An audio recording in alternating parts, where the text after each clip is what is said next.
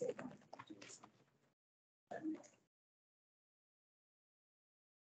afternoon.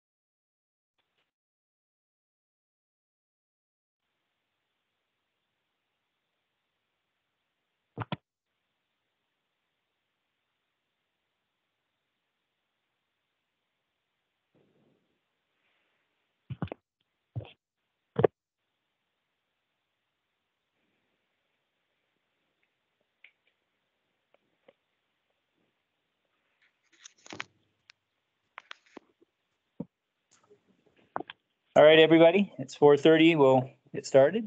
And we got Crown coming in. Uh, I believe we have enough people here. Brian, can you do a roll call? Yep, uh, Commissioner Lyons, Here. Mr. Petty. Here. Commissioner Pinzer, Here. Commissioner Rock, Here. uh, Commissioners Moss, Milfeith, and Pa are all absent. Uh, Commissioners Moss and Pa said that they will be joining, uh, later on. Okay, if we can keep an eye out for them.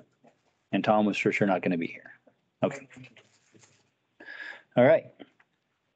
Um, Want to remind, or first, did everything get posted correctly as Yeah. required? Uh, we need to do a quick uh, revision on agenda before you guys, uh, let Meredith, uh, explain what is going on. Yes, here is your instructions. I accidentally wrote the words public hearing in half of the items on the consent agenda. Yeah, I saw that. Those public hearings are already conducted and have been closed according to the proper procedure. I reposted the agenda earlier this afternoon in all of the usual places on the building and updated in the meeting packet. So it's my understanding per Bill Punkoney that all you need to do is adopt the agenda as posted and amended and proceed with that. Bill, am I right? Yeah, that's right. So we just, we can amend the agenda at any time prior to the meeting, um, as Meredith said. And then uh, if we get it posted prior to the meeting, then we just take notice of the amended agenda and adopt as posted, uh, and then move on with your business. Okay. Commissioners, do we have a motion to adopt the agenda as amended? I move to adopt the agenda as amended. Second. All right, we have a motion, a second. All in favor? Aye. Aye. All opposed? Hearing none, we'll adopt the agenda as amended. All right, and I want to remind the commissioners, if you had had any ex parte or any conflicts of, conflicts of interest with any of the applicants or applications, uh, please let us know at the time of that particular application. All right, uh, moving on. Um, has everybody had a chance to review and approve the minutes of the April fourth meeting? Or are there any questions, uh, corrections? May see anything that they have questions on?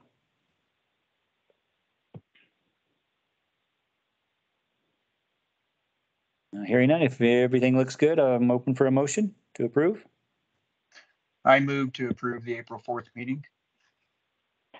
Second? Meeting minutes. All right, we have a motion and a second, all in- to approve, all in favor? Yes. Aye. Aye. All opposed? Hearing none, the minutes have been approved. All right, uh, we will move to our first uh, preliminary development plan review. The pre-app for a rezone and conditional use permit regarding the golf course at uh, nine twenty-four, nine twenty-five Fairway Drive in Reedy Lane. I believe we have Eric McCormick.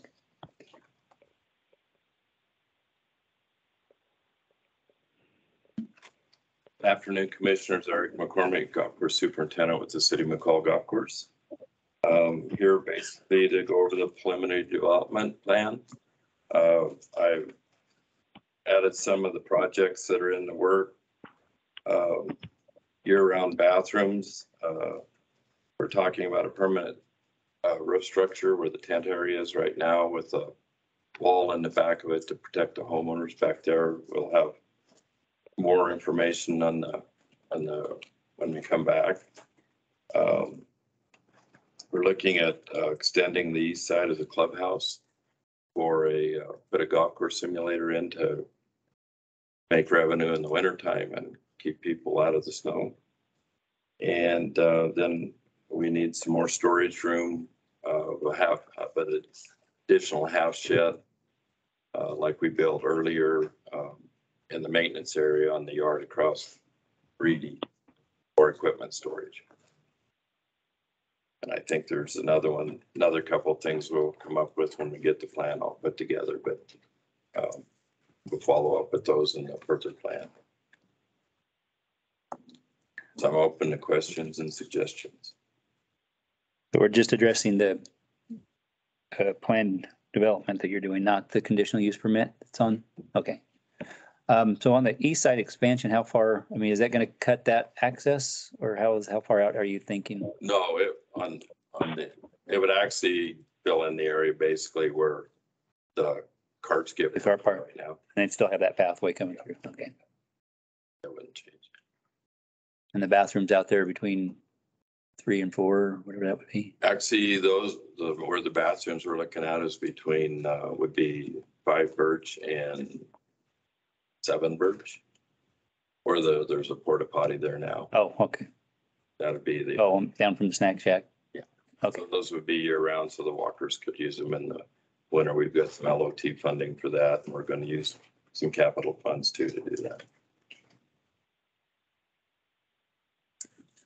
all right. Uh, commissioners, any other questions for Eric on that? I did not have any. No questions for me. Yeah, I think, I mean, that seems pretty self-explanatory on those items. Okay. Anything else? Uh, no, I don't think so. Um, So it was, on our agenda, we had a conditional use permit application. That's not, yeah, so, um, we don't have a land use, uh, we have a zone that is, a- that makes a country club or a golf course a permitted use, uh, by right. Um, so no matter what he rezones it to, it needs a conditional use permit. Um, but the bigger, uh, that's more ancillary than the rezone itself, which I think is gonna be, uh, more substantive and it'll allow some flexibility in their design and how they operate, uh, without having to go through conditional use permits or design review. Every time they want to do minor projects like bathrooms and minor expansions, uh, things like that. Um, So that's what the rezone to civic accomplished. Yeah, I mean, and it's also just more consistent with how the land is being used than a residential zone.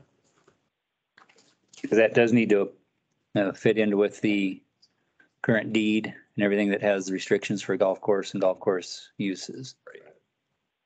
So is there anything regarding like the tent, what that's doing? Because, you know, obviously there's been a variety of events and stuff there that are not necessarily golf course. There's the weddings and I think there's been a few other events they have had there during that. So how's that gonna come in? Is that where they have to get a The permit? plan right now is to permit the uh, tent and associated events uh, through a development agreement, and we can put more specific conditions on that and limit hours of operation and make sure there's sound mitigation, and things along those lines.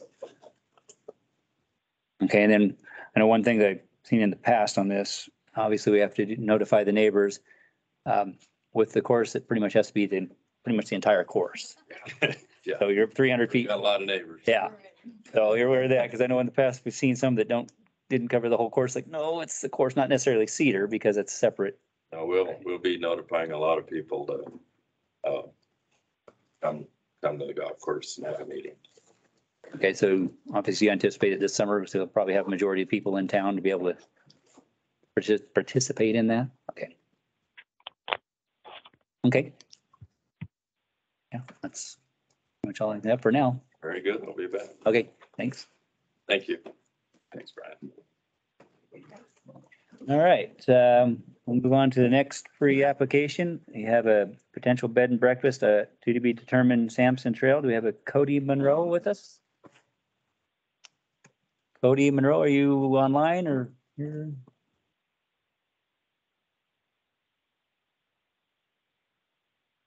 If you're on the phone, you may need to hit star six to unmute yourself.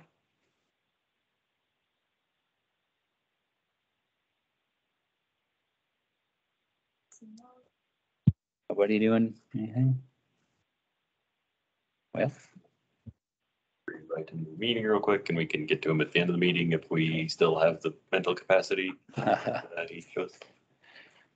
all right. Yeah, Cody Monroe, one more time, and you're out there. Or anybody representing him. All right.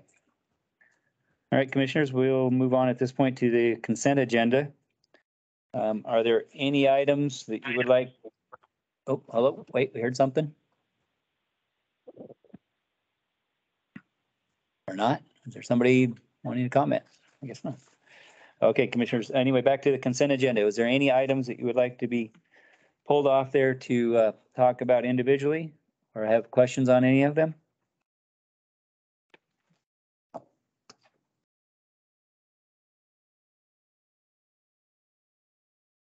Fortunately, I sat through the last meeting, so Yeah. All right, well, if everything looks good, I'm open for a motion. I move to approve the consent agenda as amended. Second. All right, we have a motion and a second to approve. All in favor? yes. Aye. Aye. Opposed? Hearing none, the consent agenda has been approved. All right, now we will get to the right spot here. Move on to old business. We have a design review twenty-three oh four and scenic route twenty-three oh eight to, to be determined Stibnite for the McCall Donnelly School District. And is Kirsten Dietrich here Yeah, Kirsten's online. online? Hi, yeah, I'm here. Hi, Kirsten. Uh, If you'd like to go ahead and proceed with your presentation? Yeah, um, I'm not sure that there's much of a presentation to give at this time, except to, um, just state that the school district and the city of McCall met in an offline meeting and um, came to mutual agreement about the terms and conditions of approval for the project that I think Brian, um, Parker could probably read off, if that works. Uh, yeah, we'll get to staff report here in a second, just if there was anything else you would like to add. I don't think so. We're just Okay. happy to have um resolution as a team. Okay, great. Uh, Brian, if you'd like to give staff report? All right, yes, thank you. Um, as uh, Kirsten said, we had a good meeting with the school district and their team. Uh, came to some resolution, particularly regarding the uh, deed restrictions and undergrounding of utilities. As an effort to further local housing, the city is uh, waiving the deed res- or the uh, undergrounding requirement and we'll wrap it into future projects and use some franchise fees that we get through Idaho Power to facilitate that. Um, and, uh, the school district has agreed to deed restrict the uh, in the project, so. Okay, great. And I know on that last meeting, that was a Yep. big item. And with the improvements that they're doing to the sewer line, that's given them, the- the sewer district's fine with the nine or eight hookups, or the nine hookups, eight. They have enough capacity. They're good with that. To serve the whole. Okay, perfect. Um, Was the um, drainage addressed with the camp? Yeah, I'll, uh, let Kirsten speak to that, but they did meet with Camp Pinewood again and I believe that fairly goes out. Yeah, we um Camp Pinewood actually did um some digging of their records on their side of things and found a stormwater plan that had been recorded with one of their previous plan re- approvals with the city of McCall. And it outlined some stormwater holding area and culvert location that they, they weren't necess, the current operations folks weren't necessarily aware of that historical stormwater management plan. And I think they communicated that to Public Works and planning staff as well. Um, but anyways, we, the land group sat down with them and met and make sure that they understood their stormwater management plan and their, they were gonna go ahead and move forward with kind of implementing some of those, um, some of the, some of that work. Uh, we're, we're also kind of staying in contact with them just to kind of assist them since they're getting up to speed with what needs done from a stormwater management perspective, I guess. So I think it's the best of all, all things.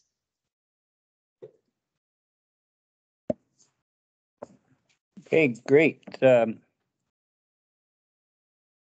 Morgan, do you have any more reports you wanted to add on this one?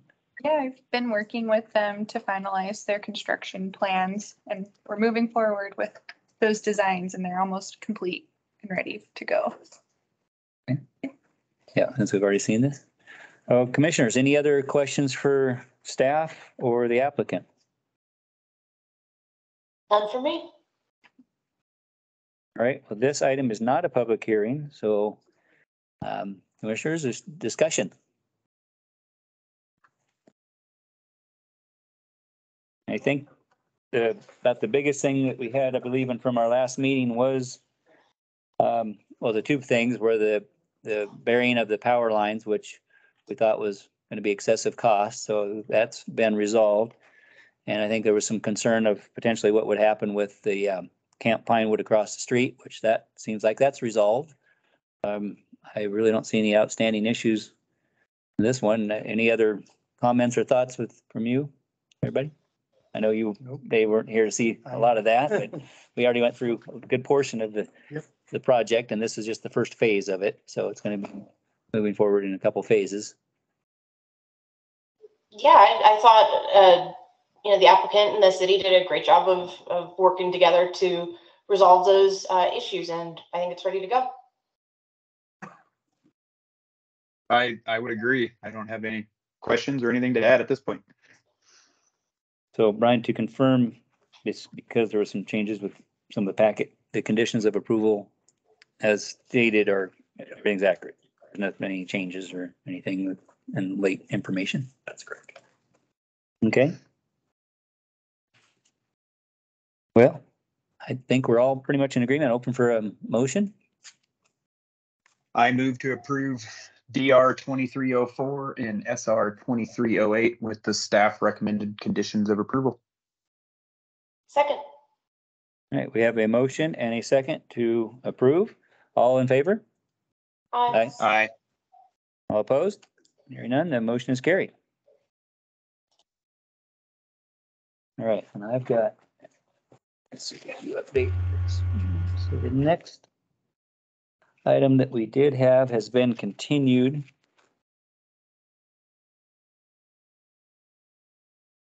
Let's see, where we at here? Hold on. Yeah, it's been continued. Um, so the Mill Road property, uh, the glass house has been continued to the next meeting.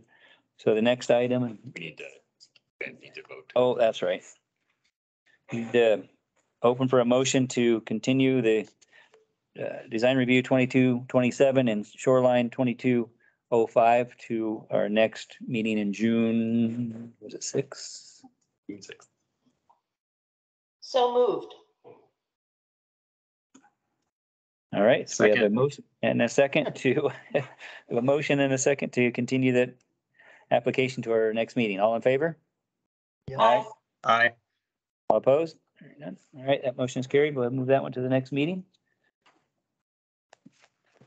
And we have uh, design review twenty-three oh one and shoreline twenty-three oh one at twenty-two twenty-five Edgemere Lane. Uh, do we have Eric Anderson here in the audience or is he online? Line. Okay, great. Eric, yeah, if you'd like to uh, show us your Oh, presentation, that'd be great. Yep. Okay, uh, I'm just, I'm teleconference in. I didn't, uh, so. Um, so yeah, we've got, uh, we're proposing to build a, there's an existing structure, twenty-two fifty-five Edgemere Lane. Um, it's old and, uh, the, the new owners, we're gonna, plan to remove the existing structure and place it with about a thirty-four hundred square foot home and, uh, two-car garage with, um, associated site improvements and, um, decking and whatnot. Um, we've been working closely with the staff to go through uh, the planning process and get to the, the design review level. Um, we've met the height restrictions, I believe. Uh, setbacks are good, and we also plan to use uh, natural vegetation once the project is complete. Um, uh, that uh, you know, we've gone through the the site-specific co- comments and And, you know, most of the comments that we need to address will be handled and addressed during the permit process. So with that said, I, I really don't have any questions. Um, and then stand for any comments or questions from, uh, commissioners. Okay, um, commissioners, unless you have any questions, we'll have Brian give staff report. Um, I'm just, um, curious, your dimensional standards, there, you seem to submit a plan with um, some discrepancies to our requirements. Was there a reason for that? Uh, was that the setbacks? Setbacks, lot coverage?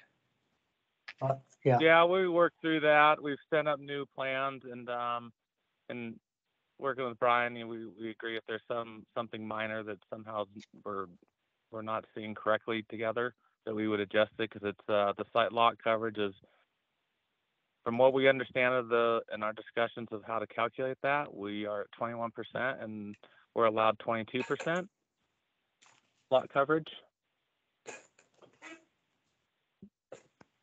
And we did have a couple dimensional errors which we have corrected that uh, address the setbacks. Okay, and then you did mention you're not gonna put all that grass in towards the lake? You've changed that as well? No, there will be no no lawn. It's all natural vegetation to be replaced once construction is complete.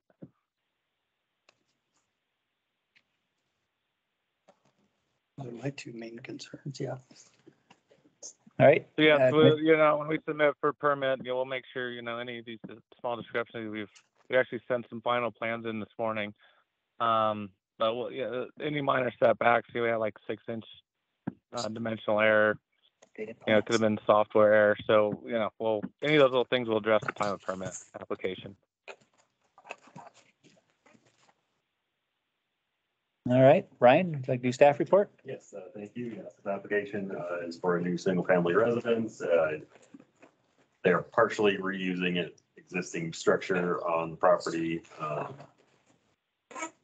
It is a fairly large house. It hits almost, touches on almost all the maximums of dimensional standards, uh, exceed, the previous plans exceeded, uh, them in most directions. Uh, they have submitted updated plans, which I printed out for you guys. Um, I recommend keeping the conditions of approval as is, just in case I, it's reviewed. Uh, their updated ones, um. It's generally consistent with our design guidelines, uh, or low pitch roofs, hold snow, um, lots of glass windows. The, uh, one question that we had early on was determining uh, whether their fifty-foot shoreline setback measurement is correct or not. Uh, It is difficult to get an accurate survey of the ordinary high water mark when the ordinary high water mark is under five feet of snow. Uh, So there is a condition of get survey done. before the building permit. That'll for any questions. So if the survey shows it's closer, they're open to make adjustments if needed on, Yeah, it's, I mean, the, since the building and the landscaping and patios and all that, they can bump that. right up against it, they're probably gonna be right back to square one, which is why the condition approval is written as it is, that they're aware that they're going back to square one. if it's- Okay, Yeah, if we, if, if the survey comes back and we're encroaching on that fifty feet, we know we can, we have a plan to move the house up into the lot further to the east and get away from that fifty foot, but from what we can do right now, um, we, we feel like we're, we're outside of the fifty foot, but until we can get an accurate survey, we, we can't, uh, prove that. So that's one of the conditions we're, we would like to move that we, um, obtain that survey prior to permit and make adjustments accordingly if needed. okay. Any other items, Brian, on I don't believe so. on mainland? Morgan, any additional? Sure. Um, so I did review this project and they are missing some water items. I talked to one of their architects and there's a few notes on their plans on a few stormwater notes on their plans, but we still need a report and a stormwater application. Um, and just in general, identifying where all the runoff is going before it enters the lake. Um, that was my main comment on this project is to just get that figured out before building permit. Then we have that in regular. Yeah. Rules, condition. Correct. Okay. Commissioners, any questions for staff before we go to a public hearing? Brian, what page are the conditions on?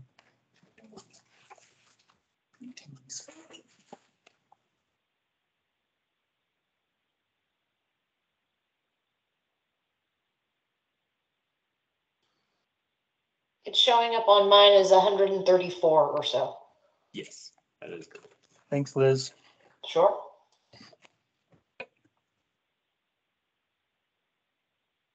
And so we're gonna, the idea is to leave these the same, even though they've got an updated plans, just because that would cover anything and they could easily, Well, good, then those are easy. they probably have already met some of them potentially.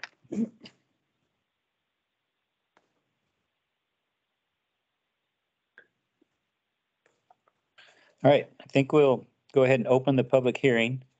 Um, Just want to remind everybody, we got three minutes to make comments. I know most of you are probably not here for that item, but I think some are. Uh, but just in general, moving forward, we're gonna have about three minutes. Uh, we'll need your name and address. And then if somebody prior, uh, has spoken prior to you and they've said the comments you're gonna say, just please say you agree with them and anything new. Otherwise, we could be here till late and we've got a lot of items on the agenda. So with that, we will open up first to anybody online or on the phone that would like to speak regarding the item at twenty-two twenty-five Edgemere. We're just discussing that item at this point, so it's twenty-two twenty-five Edgemere. Uh, if you're on the phone, you may need to hit star six to unmute yourself. So anybody online or on the phone that wish to speak regarding this application?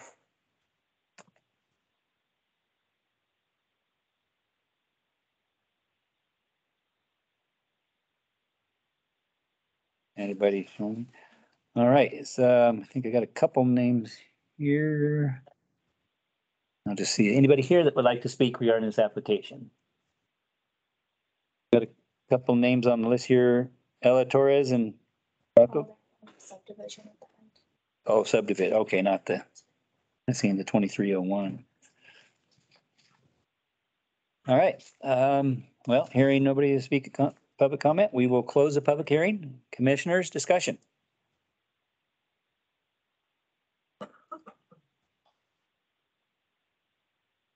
So yeah, my two cents is the, the plans as submitted being so non-compliant is concerning, but if, uh, staff feels that the conditions of approval as stated will address those concerns, uh, I think it's, I think the spirit and intent of the structure is compliant. And, and Liz, also, we did get, we haven't had a real chance to inspect them, but they did submit here uh, new plans Okay, here at the meeting. So again, Brian's had just a preliminary time to look over them, but with those items, I think some of the items probably were already addressed, but as long as we keep those same conditions, it'll you know, make it easy if they've already done that, but so they have some set now Yep. with us. cool, works for me. Yeah, my questions were basically the setbacks on the shoreline to make sure those were gonna be within requirements. So they have, they have stated that they are gonna put, go back to natural vegetation, but there's, that's not a condition of approval and there's nothing required. Um, Um, I think the last condition of approval states that we will, upon completion of construction, Yeah, will number eight. go back to natural, yeah. So I'm playing up the staff report right now.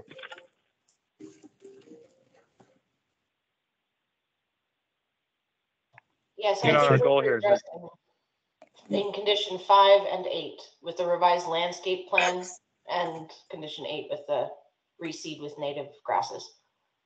Yep. So. Not sure you guys have the latest.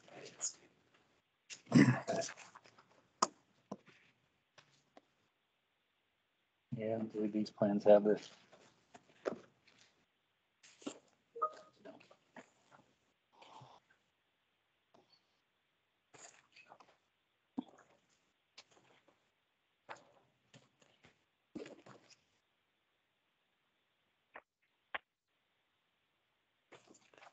Yeah, the. You may need to add that into just Yeah, specify it. The items you guys are reviewing, uh, should still show the lawn area and all that. Um, I would maybe make a motion that the landscape plan shall be consistent with the May second, uh, submitted documents. I don't think they have, They still show grass though.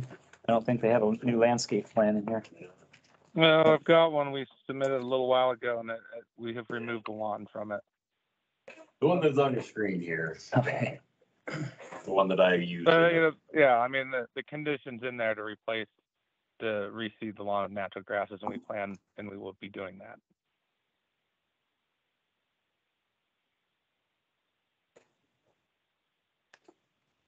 The condition of approval that they're referring to is specific to the disturbed area around the building site, not removing the lawn on their plans. that Was originally in there. Um,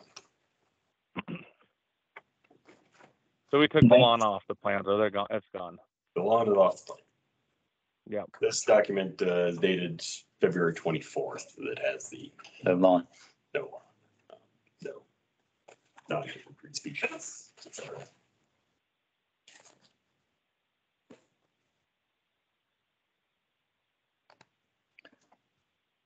Now Liz, if you want, we could maybe add something into into the conditions approval, either item five or eight to say including, you know, to represent the new plan, the new landscaping plan, I should say.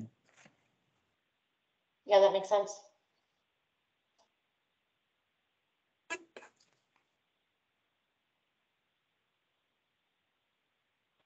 Okay, Commissioners, any other thoughts, questions, or concerns? Nope, not for me. I think as long as we um include that in the conditions of approval that we're removing the lawn. I think we're good.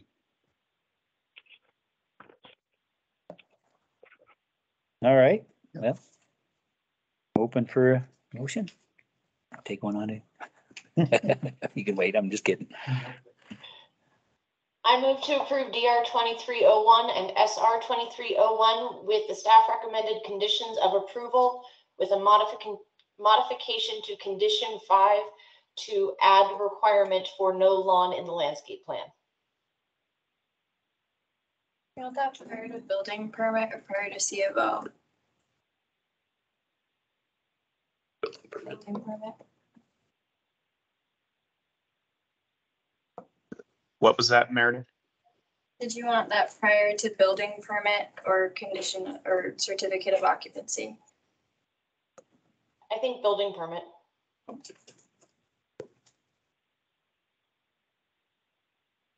Second. All right, we have a motion and a second to approve with conditions of approval as amended. All in favor? Aye. Aye. All opposed? Hearing none, as con- application has been approved. All Okay, right. Thank you very much. Hey, Appreciate your yes, time. thanks. Thank you, Eric. All right, thanks, guys. Okay, moving on to new business. We have the McCall Fire Department, McCall Fire Development Impact Fees. Uh, Either Bill or Bill Yes. Bill or Bill or Michelle. or Michelle?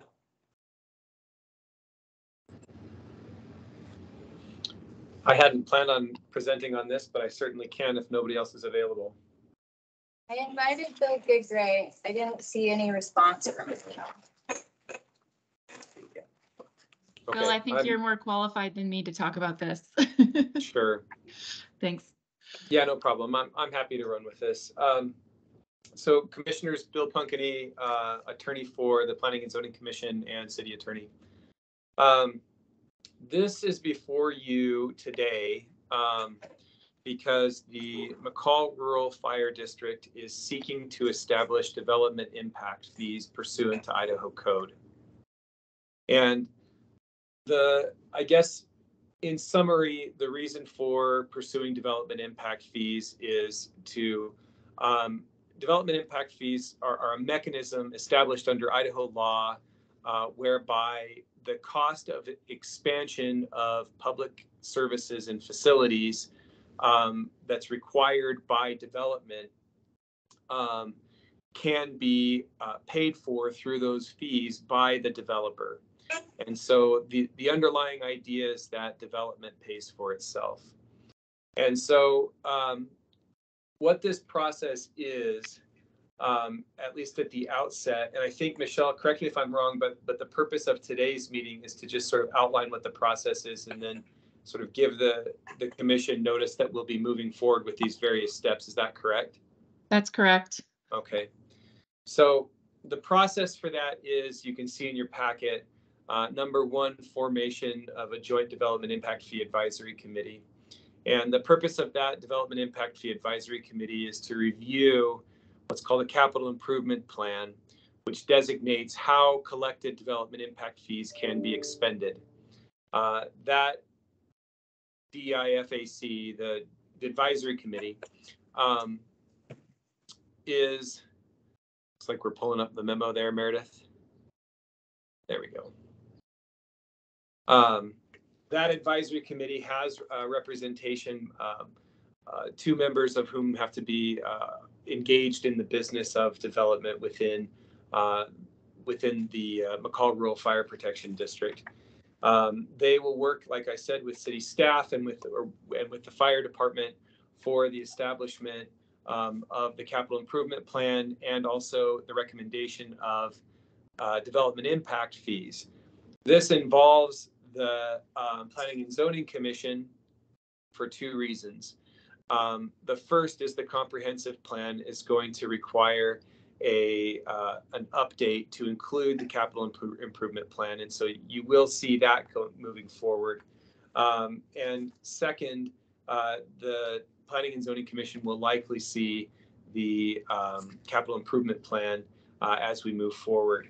So, um, like I said, the primary purpose of this is to give you a heads up of what's what's going on. It's a this is there's much more specific specificity in the memo that's attached, but for the purposes of the Planning and Zoning Commission, uh, what you can expect is um, basically work on the comprehensive plan and a comprehensive plan amendment to reflect the establishment of the fees for the McCall Rural Fire Protection District. This is likely a precursor to development impact fees that will be uh, enacted and developed by the city. Um, the fire district is sort of a, uh, a pilot program for that. So um, I know I kind of gave a very cursory overview. I'm happy to answer any questions, um, but really the role of the uh, Planning and Zoning Commission will be that comp plan amendment. Any any questions for me, Michelle? Do you want to add anything?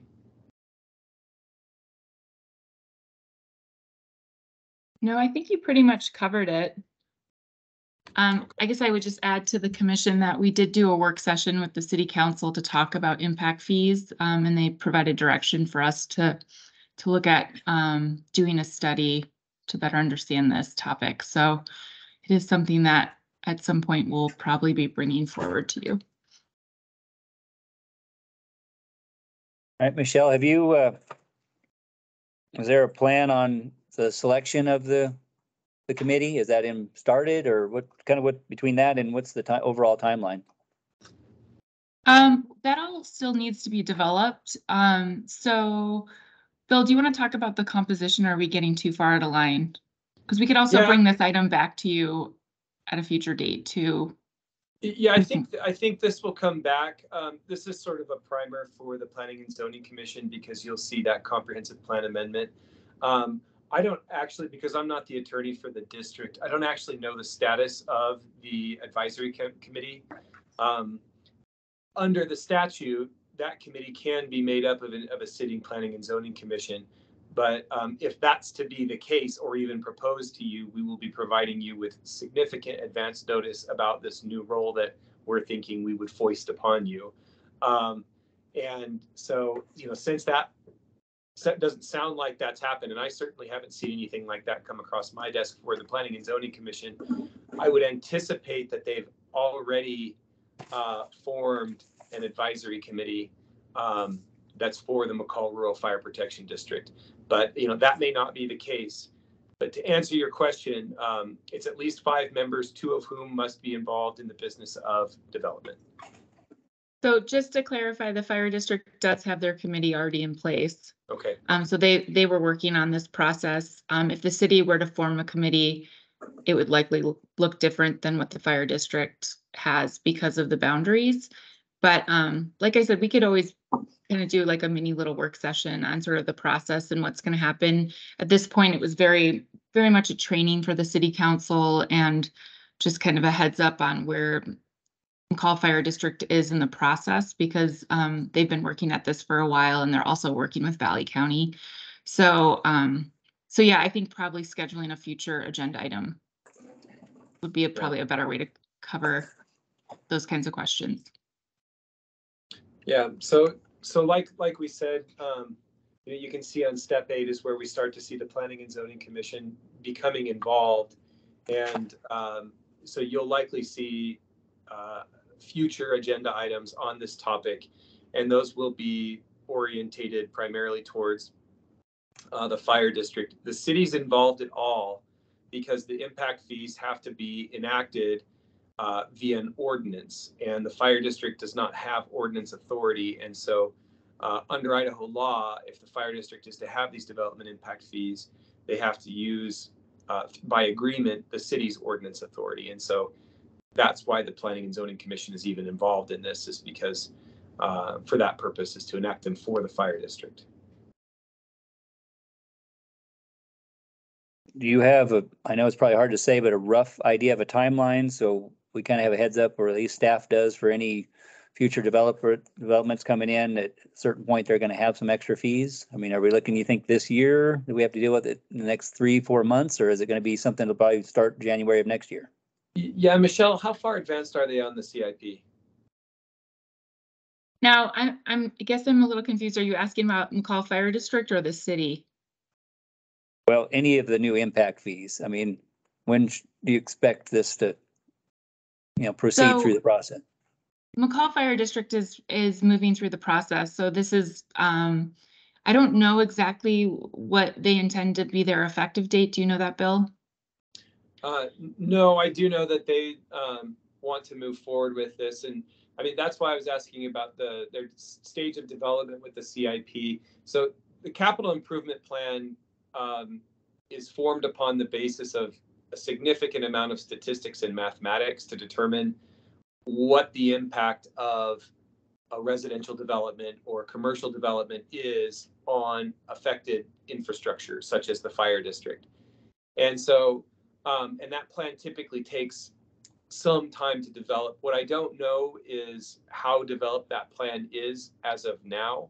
Um, if it is done, and it's my understanding that the whole process is quite mature with the fire district, I would anticipate that you'll see this come through uh, on an agenda in the next couple of months.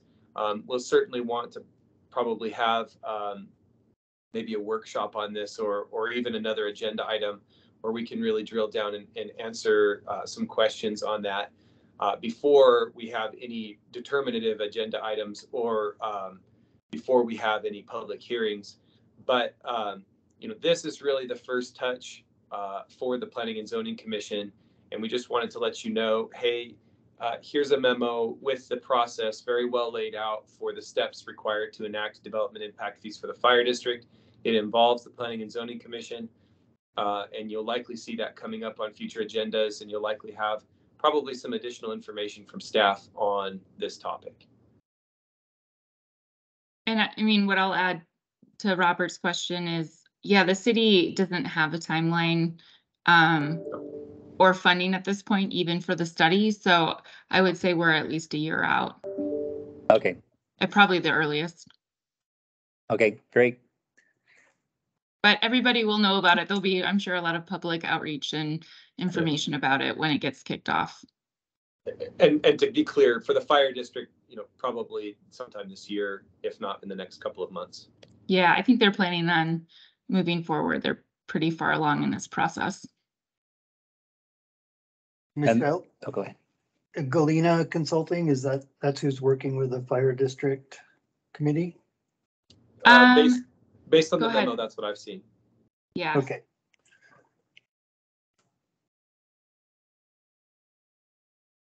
So you're, re- Okay. you're, requ- you're required to hire an outside uh, professional consultant to develop the capital improvement plan. And that's where Galena Consulting comes in.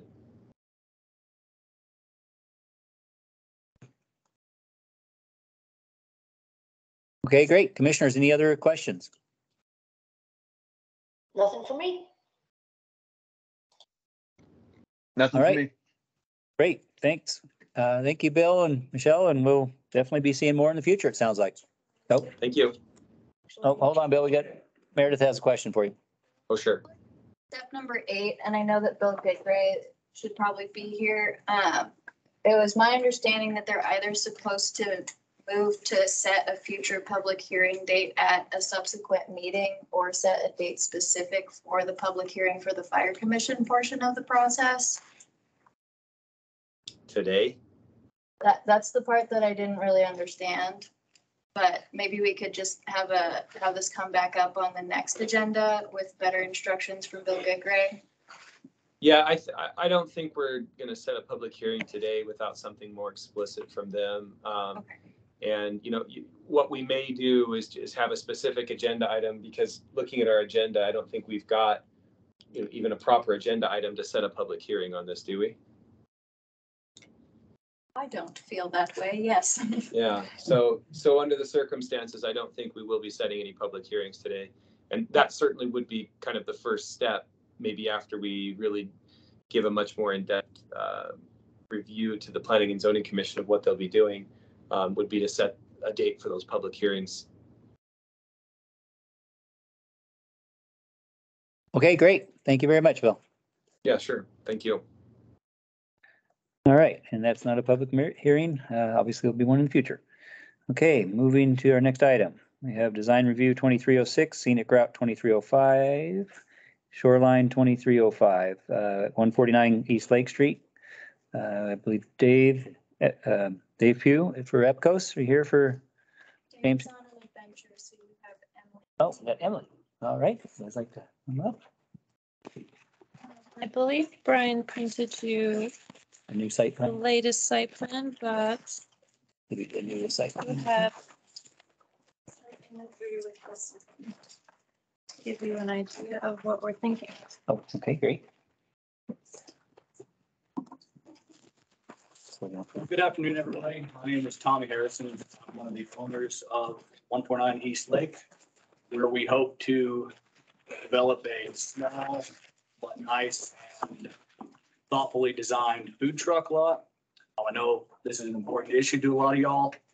It's a new concept for McCall. It's a pretty novel idea. As far as I know, we've never had a actually designed food truck lot, so we want to make sure we do it right. Um, this should come as no surprise to you, but I, for one, am excited. I think it's gonna be a fun, positive, and pedestrian-focused development. And I think it's gonna be great for McCall. Um, so and again, thank you guys for being here and for your time. With that, I will introduce Emily from Epicos. She tends to be a lot smarter than I am and can give you guys a lot of good information on the project. So thank you. Thanks, Alan.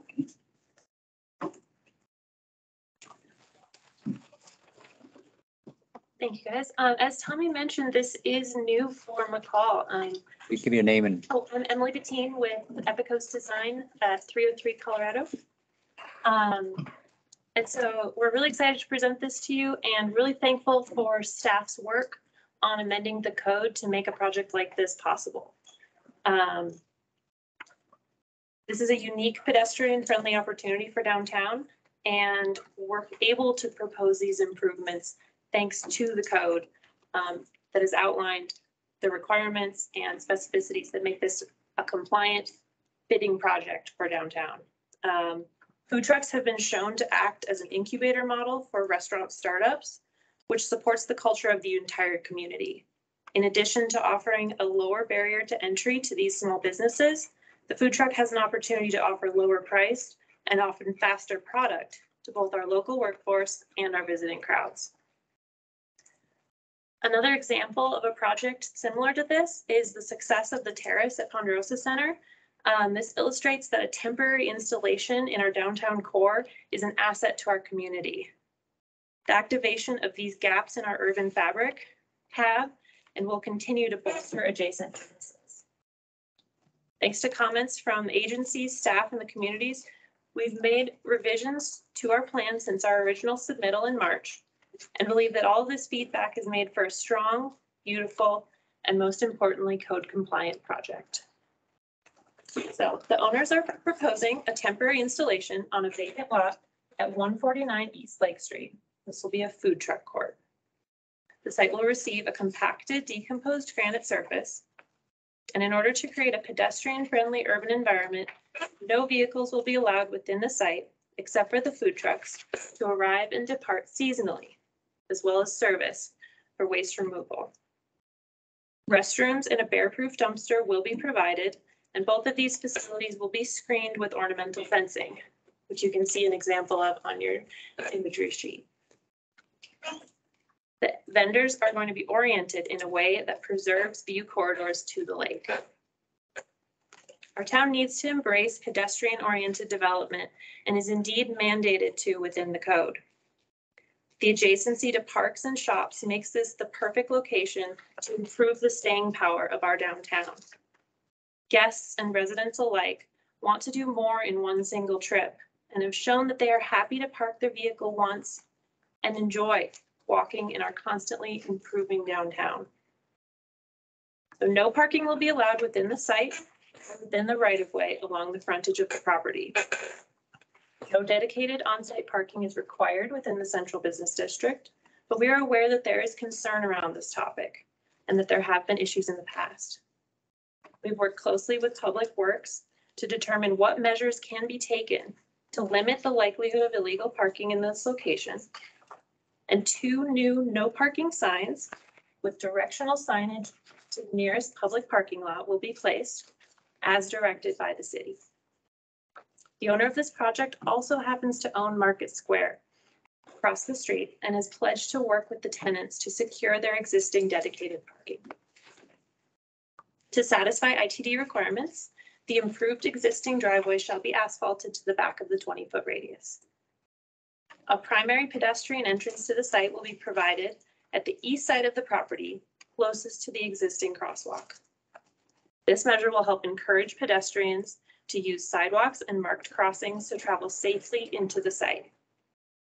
This east-facing access is also oriented toward the densest pedestrian core of downtown, linking the site to the rest of the urban environment.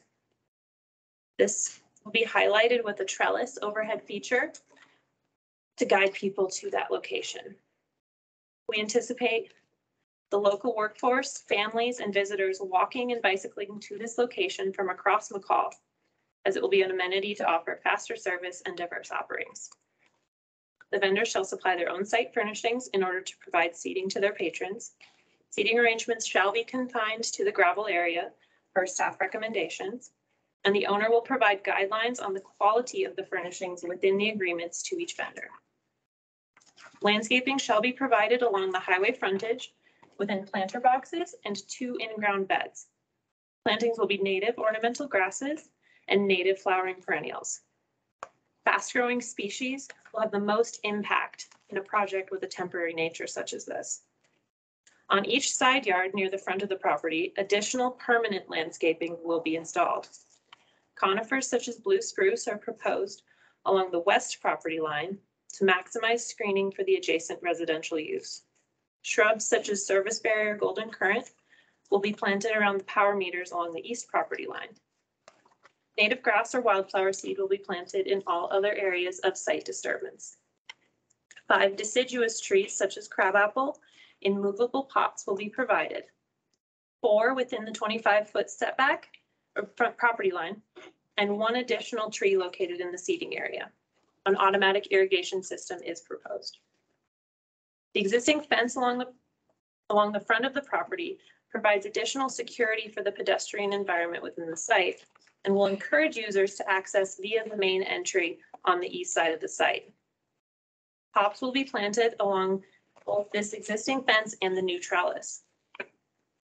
Bollards will also be placed on the corner of the site near the main entry to protect pedestrians, as well as opening up the access to people of all abilities. Power will be supplied to the vendors through extension cords from electrical meters installed on the southwest corner of the property.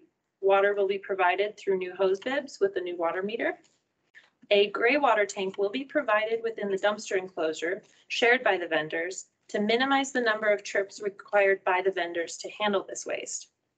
No sewer connections are proposed for this project. As no impervious surfaces are proposed for this temporary use, stormwater is managed simply through direct infiltration. The existing vegetated hillside will provide treatment for any runoff. However, should the vendor court ever be paved, engineering calculations would be prepared and an infiltration basin would be constructed downhill of the vendor court. This area is shown on the plan to illustrate that ample space is available and anticipated. Limited grading is proposed for this scope of work, but if excessive erosion is occur, is observed, the owner will ensure that measures are taken to correct this issue. Okay. Any questions? Commissioners, any questions at this point? You, you kept repeating temporary. How many months or Planning on placing a five-year restriction on this application. And that's what. twelve months a year? correct that it could operate twelve months a year? Yeah. Um, however, the concentrated use is planned to be during the summer months when town is the busiest. Um, Yeah, it's gonna be a, I would say at the longest May to the end of September. And there might be a couple weeks during winter carnival when we set something up, but we'll make sure we do that right as well. And we don't, we don't have any information on that yet. We had one truck last year that ran during this. There's a possibility we're gonna have a couple others asked, but Hey, the reason, the only reason I ask is you have snow storage in your map, Yep, so, so sorry to interrupt. seemed like you were gonna plow it all winter. It's shown just as an, in case they do want to do a winter carnival application again, um, showing that we have enough space to store that snow. Um, however, it's not intended to run full-time year round. You mentioned uh, extension cords going, how are you gonna do that for the safety wise? I could see the, the back four, you could run along the back where people wouldn't be walking, but that front one, you're gonna have to cross something. You have a plan for, You're right. Yes, it could be a tripping hazard, but we're gonna buy those, I don't know what they're called, the technical name for it, but those covers that you'll see at, you know, fairgrounds and events, the, I don't know, plastic or rubber covering that goes along the whole thing. Okay. So if you could get a wheelchair over it, you can step over it. It won't be a tripping hazard.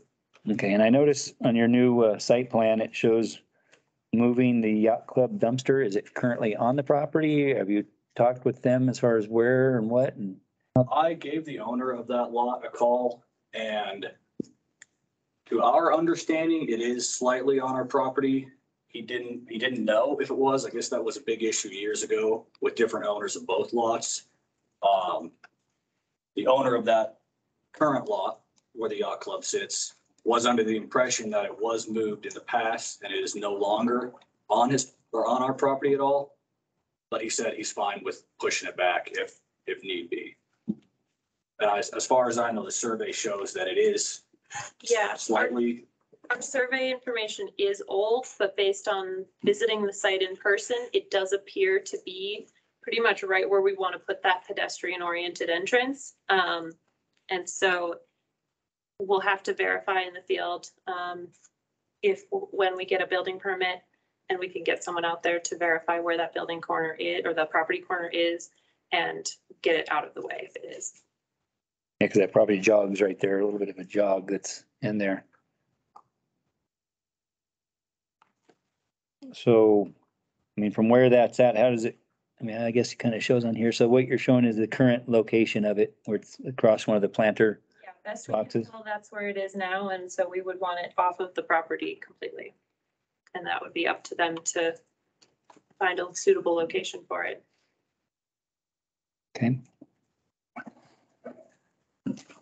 What is your plan for parking for your employees and everybody, I guess? Not so much everybody, the main thing with the employees, do they have Uh, plan for the parking of them? Or they just out on their own? Uh, that First Street public parking lot is where we're planning to direct everyone. Um, same as any other downtown business. We've got street parking and several public parking lots that serve our community. First Street is gonna be torn up this summer, correct? Morgan? Correct, for utility installation and then And then the next summer for, for the final paving and so you got two years to find parking. So my understanding is that it won't be closed this summer. There will be some temporary work. This is, Morgan, please correct me if I'm wrong, but um, that it will still be available for public parking all this year. Um, and then next year, the road will be closed, but kind of, I I hate to say it this way, but it's a broader downtown issue. Um, we will be impacted the same as all other downtown businesses. And we'll all work together to find places for employees to park suitably. Um, but this is a project that's improving our community. Um, you know, the Second Street projects have been hugely successful in improving pedestrian access. Um, it's worth doing, even if it is kind of a headache in the interim.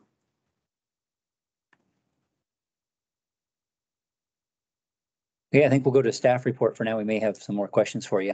Do you want us To sit down for that? Oh, yeah, you can probably sit down. We're gonna be a couple- probably a couple minutes. Um, All right, Brian, staff report. Uh, thank you. Um, This, this application, um, as discussed was the result of, or as a outcome from, a code amendment process that went through, uh, last year, uh, prior to this year, uh, this code amendment, uh, all temporary vendors were managed through vendor permits through the clerk's office. They didn't really have a lot of land use control to do landscaping improvements, uh, require driveways, so on and so on. Um, so it's fairly minimal, uh, process and, uh, we're hoping that the updated code and the new procedures will, uh, result in a better, more aesthetically pleasing product, um, and allow for some more flexibility with the local businesses and entrepreneurs, uh, entrepreneurs. Um, this application, um, is, yeah, right downtown next to the yacht club. Um, provides spaces for five food trucks, uh, no vehicle access other than the food trucks coming in and out. Uh, the bollards, uh, on the vehicle access point will be locked except for, um, moving vehicles in and out and emergency situations as needed. Um, The conditions of approval include, um, writing some design headlines or uh, examples of the uh, outdoor furniture, outdoor seating materials uh, that would be used on the site.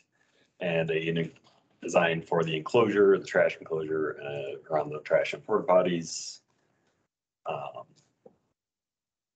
Other than that, it meets the intent of the code. Um, There was a lot of public comment regarding uh, parking and the aesthetics. Um, Again, we think with the screening of the dumpster and the porta potties, that is generally mitigated uh, along with all pretty extensive landscaping um, in temporary facilities. Uh, The parking in code does not require uh, on-site parking within central business or the urban renewal area. Um,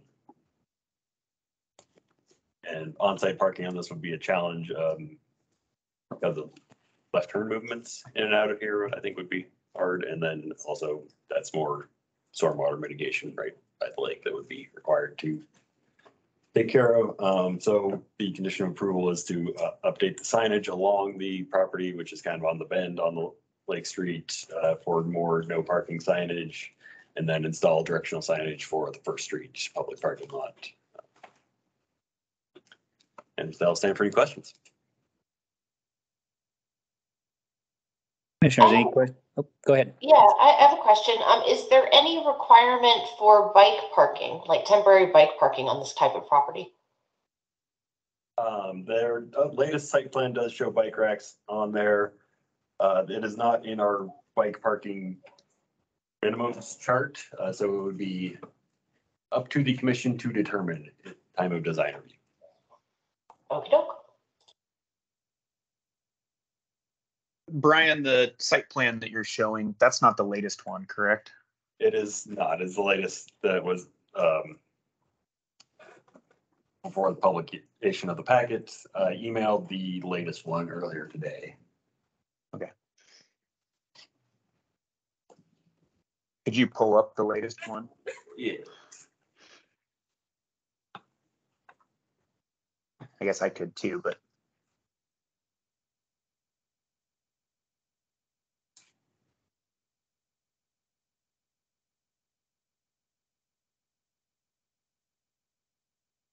There we are.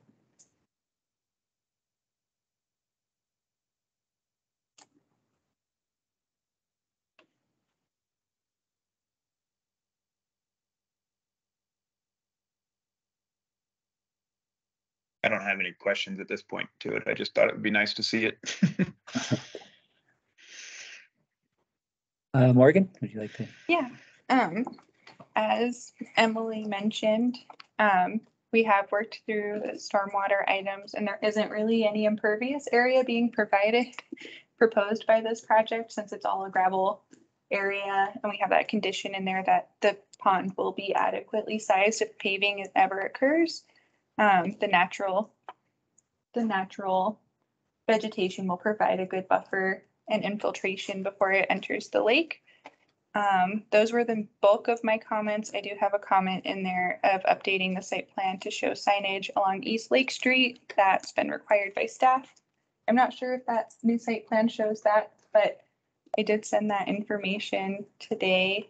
Um, so they probably haven't reviewed it yet, um, after talking to the streets department. Um, and then that was pretty much all of my comments, but I did take a look at our construction plans for phase three A, which is the construction happening this summer. Um, and the contractor needs to develop a construction staging plan to maintain access to the First Street parking lot and to minimize closure, closures as much as possible. Um, I don't believe we've seen that yet. We haven't had a pre-construction meeting for this project yet. That's to be coming.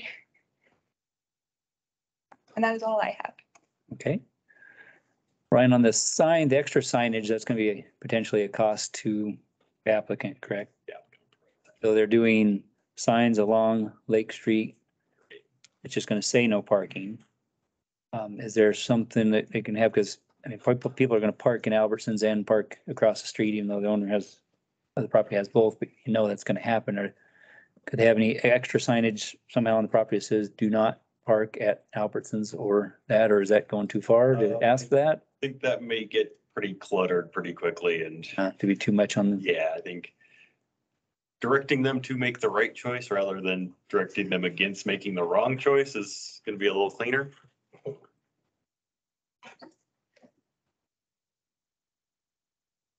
right.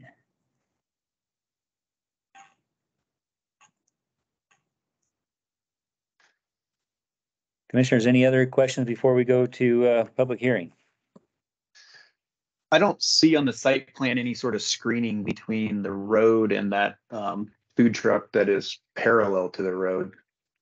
Um, am I missing it or, All of I see, these or- little rectangles are uh planter beds, okay, fast growing native grass types. But wouldn't end up being very tall to really block the truck that's sitting behind it, correct? Probably not.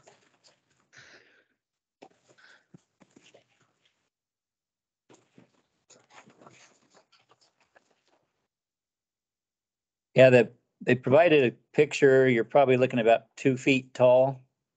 Based in the pictures they've provided us here at the meeting hall. So look like a couple two by twelve frame boxes roughly as far as just an example drawing that they or a example picture that they have. Okay, thank you. Unless we want to do more screening across there. I mean, it would potentially block a little bit of the Lake Peekaboo views, but it's still, we wouldn't have a truck sitting right there on the backside of a truck. That would be the That's, backside. that's what I'm kind of weighing in my mind is what's, what's better there? To, to block out the lake with some screening that also blocks the trucks or to try to see a filtered view of the lake? Yeah.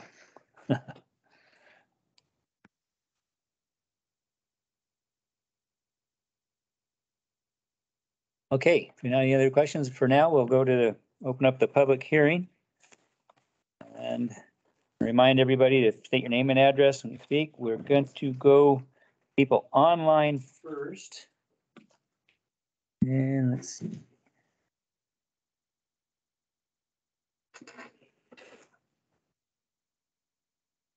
Well, it doesn't specifically say. Is there anybody online or on the phone that would like to make a comment regarding this application?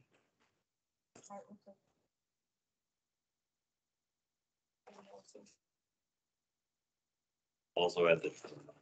Right. Oh, Tony is here? Oh, good. Hello, Tony, welcome back. If you're out there. Okay, so, well, we'll ask if it online, or I mean, people on the phone, um, if you'd like to comment, uh, the phone number here, and again, you may need to hit star six to unmute yourself. You got a phone number of seven zero two nine five six one zero one two.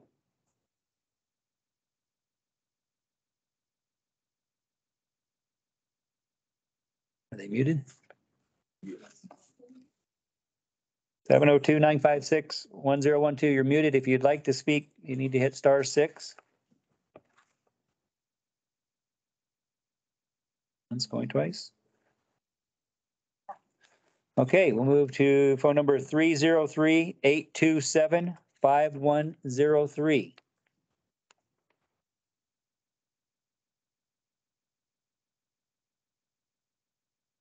You'd like to comment?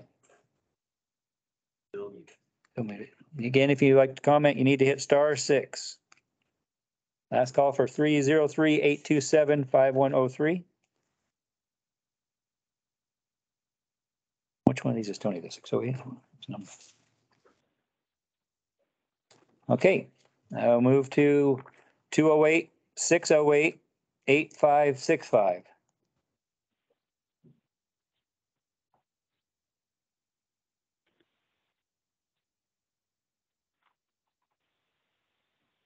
Again, 208 608 8565. Would you like to comment? Can you hear me? Yes.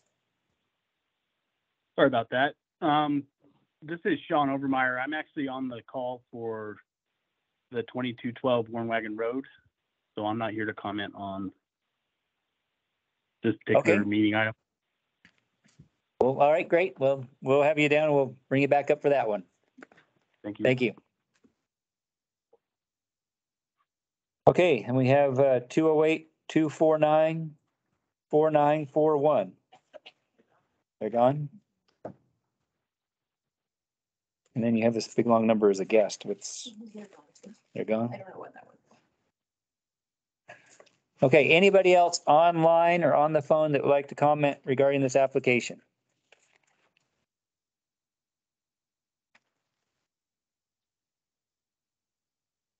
All right, uh, let's see what we got here.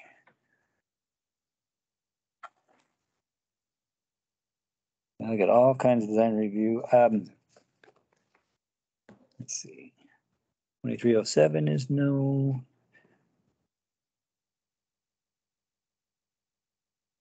We have Stacy Kusi. Like to comment? Yeah, so you come up here, if you give a name and address. Again, just remember three minutes.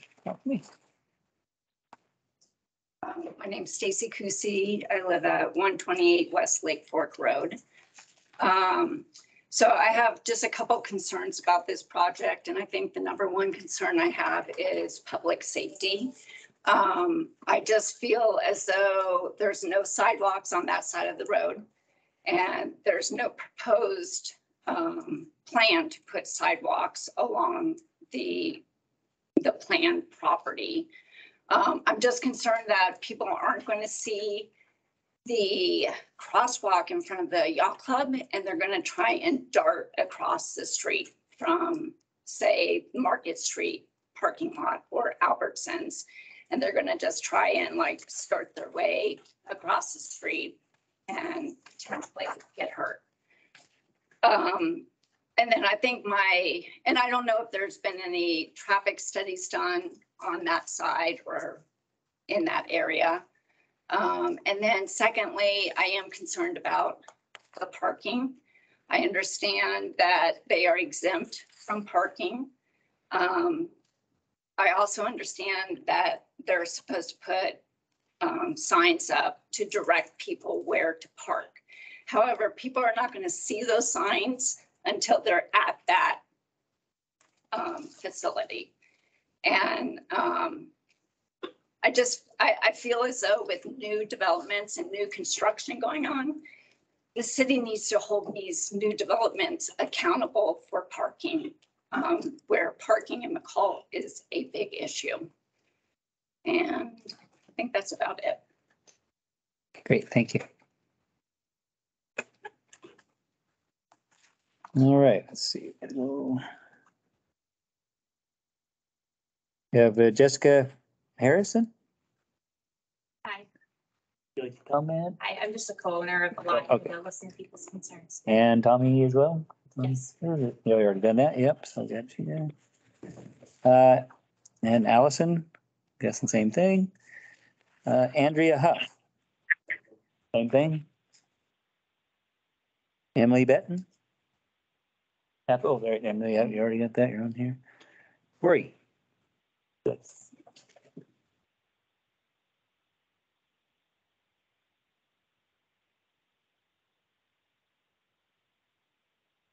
Hi, my name is Corey Rice.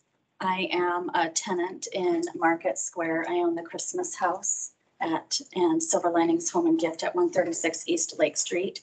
I'm perhaps in a very unique position because I am a tenant of the applicant and um, have to this date enjoyed a very um, professional, um, constructive relationship.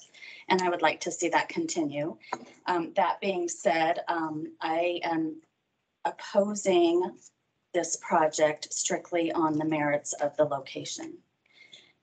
Um, I'm concerned about the lack of parking in that area and I'm concerned about public safety. Uh, we do see a lot of activity in this stretch of the highway. And, um, this is just going to compound that times five. I think the potential for public safety, um, and people getting hurt is just goes up um, exponentially in this area. Um, I was not aware of a city mandate that requires that these types of projects be um, approved. So I'd like to know more about that, perhaps outside of my three minutes. Um, and I do also want to comment on something that um, Emily had mentioned about this project um, being a benefit to the community. I do believe that. I do wholeheartedly like the concept of a food truck court somewhere in an area um, that's similar to the Ponderosa Center, in an area that perhaps um, their customers can access them from the same side of the road. And a road that isn't a very busy state highway. Um, I would love to see something like that happen. Uh, I think they um, add tremendous value and I support them wholeheartedly in a different location. It's just, there's just too much going on. With the First Street construction going on um, for two years, I, I would like to encourage the commission to consider some sort of a construction um, update prior to approval of this permit that, um, that I think Morgan had uh, mentioned earlier, that that's non-existent at this point, but I would like to see um, some sort of an update that says that that lot that people are being directed to will actually be able to be accessed. That um, I think um, is very important.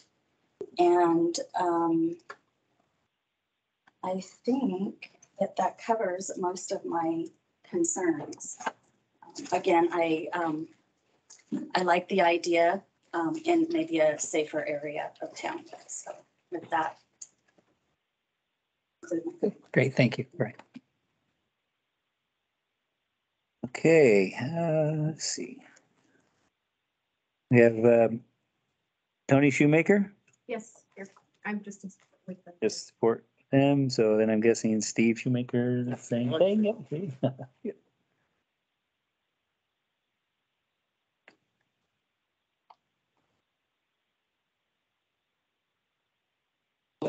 I'm Steve Shoemaker. I own Sticky Rice. Um, I agree with your guys' concerns on the parking and the public safety. Um, I was in the unique situation to be there all summer and watch how everything plays out on that corner. Um, people heading east on Highway fifty-five have the dumpster. And then all of a sudden, bam, there's people out behind the dumpster that want to cross right there. Um, and people coming out of First Street down there onto the highway, going left. As we know, left turns in McCall are kind of a pain, right? Um, so I was watching and thinking, and so I've kind of got a solution maybe for the parking and for the public safety. And that would be to not have the crosswalk on the Manchester side of that street right there. And we have it come off uh, Marketplace, have the crosswalk come off there where it's parallel to the road. And I say that you do not need to be able to turn left.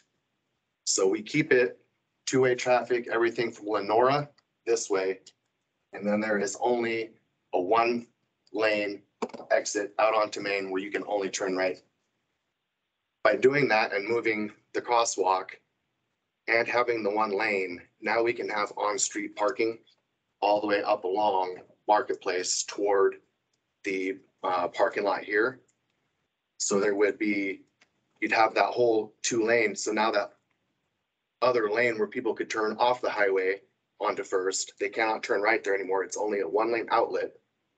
And that frees up that whole other lane in front of Marketplace for on-street parking. Um, and we changed the crosswalks so people are more visible because they do pop out from behind that dumpster They're on Yacht Club. I'm sure you guys know, um, if you've driven here at all. Um, and then just kind of reiterate on what Emily said about the parking. That is a city, definitely a city problem. Um, that's kind of what happens when you have a tourist town. The population balloons, you know, depending on what's going on. Um, so I don't necessarily see that as a specific problem for this project. It's, it's a bigger issue than that. Um, that's all I have to say. Okay, great, thanks. Thanks. Okay, uh. I think it's Eric, oh wait, sorry, wrong, wrong application, uh, Lindsay. I Can't read the last name at Adam Circle? Or Linda, excuse me, Linda. We thought that was a sign-in sheet, so everybody that. Oh, uh, okay, so it's, Yeah. all right. Um. Go to. Peter, that's the same thing. Okay. Uh, what's your name, sir? Peter Agora, fourteen to eleven Adam Circle. Okay, I got you here. Yep, you were next. We have, uh, Keep Me in Stitches in, on one thirty-six, six East Lake Street, Market Square. Now, we've been there for twenty-seven years. And no matter what, you can have all the signs in the world, people are still gonna come and park in that parking lot. You can't just tell them, oh, you're gonna get towed or whatever. They start yelling at you. You have that sign right there in the corner, it says public parking. He thinks our place is public parking. I mean, constantly. Okay, you got people, when they had, we were working on the roof at Albertsons. They can't, the workers came over there and started parking in our parking lot. You know, I mean, it's a small parking lot. We have customers. If we don't get our customers, we're out of business. And that's not fair. You know, they say, well, well, we can get another customer, another tenant in there. But if we're losing business, that tenant's gonna find out that they're not gonna be able to have any business because nobody wants, can get in there because all these people are parking there. I mean, you look at down, that Chiquita's down there off of Highway fifty-five, they have a parking spot over there. You know, I mean, and you guys are gonna tear up this whole street? You know, you're not even considering doing half the street and then have access to that parking lot and then do the other half, you know, half and half, just like they do the roads and the highways. It's not, you know, it's not fair. And then Mr. Shoemaker now wants you to make, not be able to make a left turn. I mean, you know, I mean, we've been making left turns there forever. Now, all because you want a, a food court? I mean, I'm all for the food court. I like food. I go, you know, Winter Carnival. I love to go walking down there and getting all the food, but, you know, and the, another thing is like the health department, is, are, are they gonna come and make sure that these people are, you know, running these food trucks? are doing the right thing and, you know, are they gonna check them out? You know, and then that dumpster situation, the guy with the dumpster, now you're telling them to move that dumpster. Where's he gonna put it? And is he gonna have access to it? So, you know, maybe there should be a shared dumpster or something there. I don't know, but I think that the parking situation gets bad. It's been bad for twenty-seven years. People go to the yacht club, they get drunk, they leave their cars. You know, it's, people don't care. They're gonna do what they want to do, no matter what the signage says, no matter what. And that's the, that's the fact, okay? They've been doing it for twenty, as far as I can tell, twenty-seven years. So that's all I gotta say is that the parking is the main issue. And if you can't access that parking behind us, you can't have them parked down there where, where you guys told Maverick they can't build a Maverick. You know, they're not gonna let you park over there, out of spite probably. So, you know, I just, parking is an issue. You know, you have that one parking spot over there by my father's place. That's public parking. Everything else is on the street. That's all time limited. I mean, Stacy herself, she has so many people parking and, you know, she has her little business. She has her own little parking lot. She owns her own business. You know, the Harrisons don't own that building that she's in. She owns that building. And, you know, she has a right to her parking spots. Anyway, that's all I got to say. Okay, Thank you.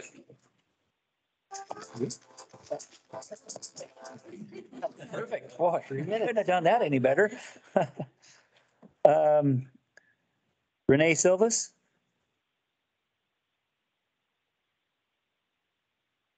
Good evening. Thank you.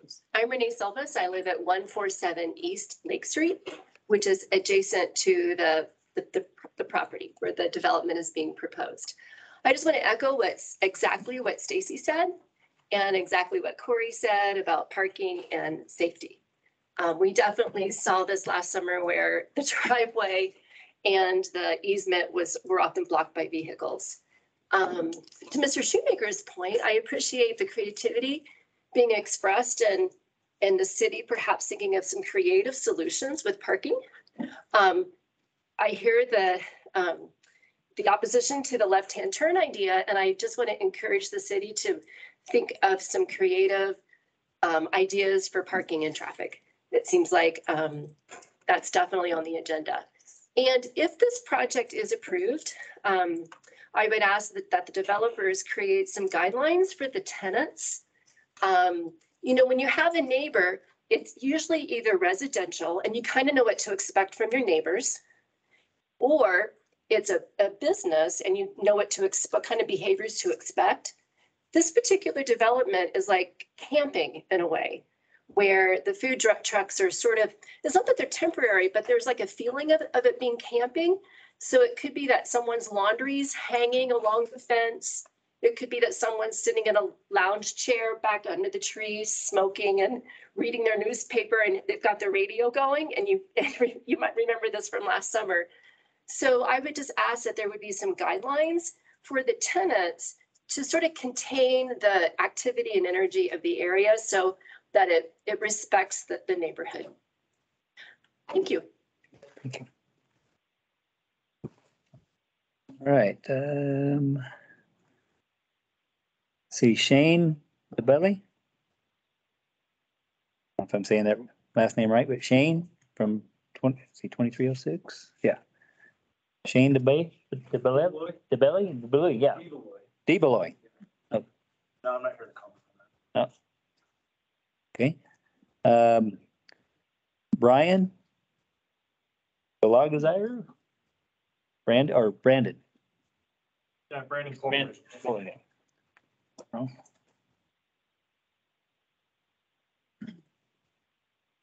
My name is Brandon Colglazier. Uh, I live at four ten South Third Street, across from a food truck in McCall.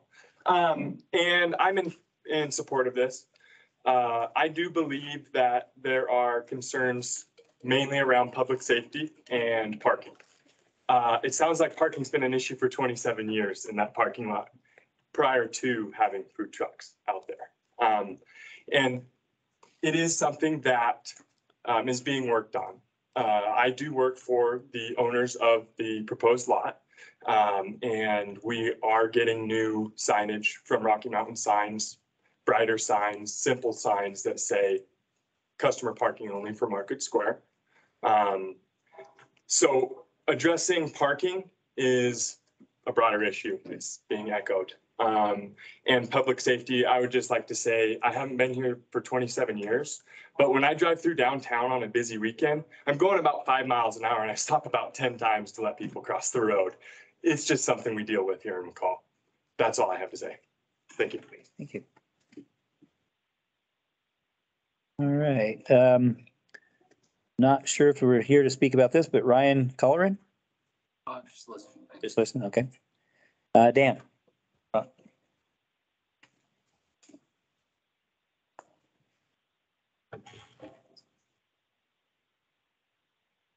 Dan Cron, two eleven East Lake Street, or residents at nine oh six Ann. Um, echo a lot of what Stacy said, the parking issues. Um, I would tell you, it's not been twenty-seven years, but the forty-five years that I've been here, it's been here that long. And down the road so far, and I am, and just like the gentleman here said, you can put up signs all you want. People don't read them, or they don't want to obey them.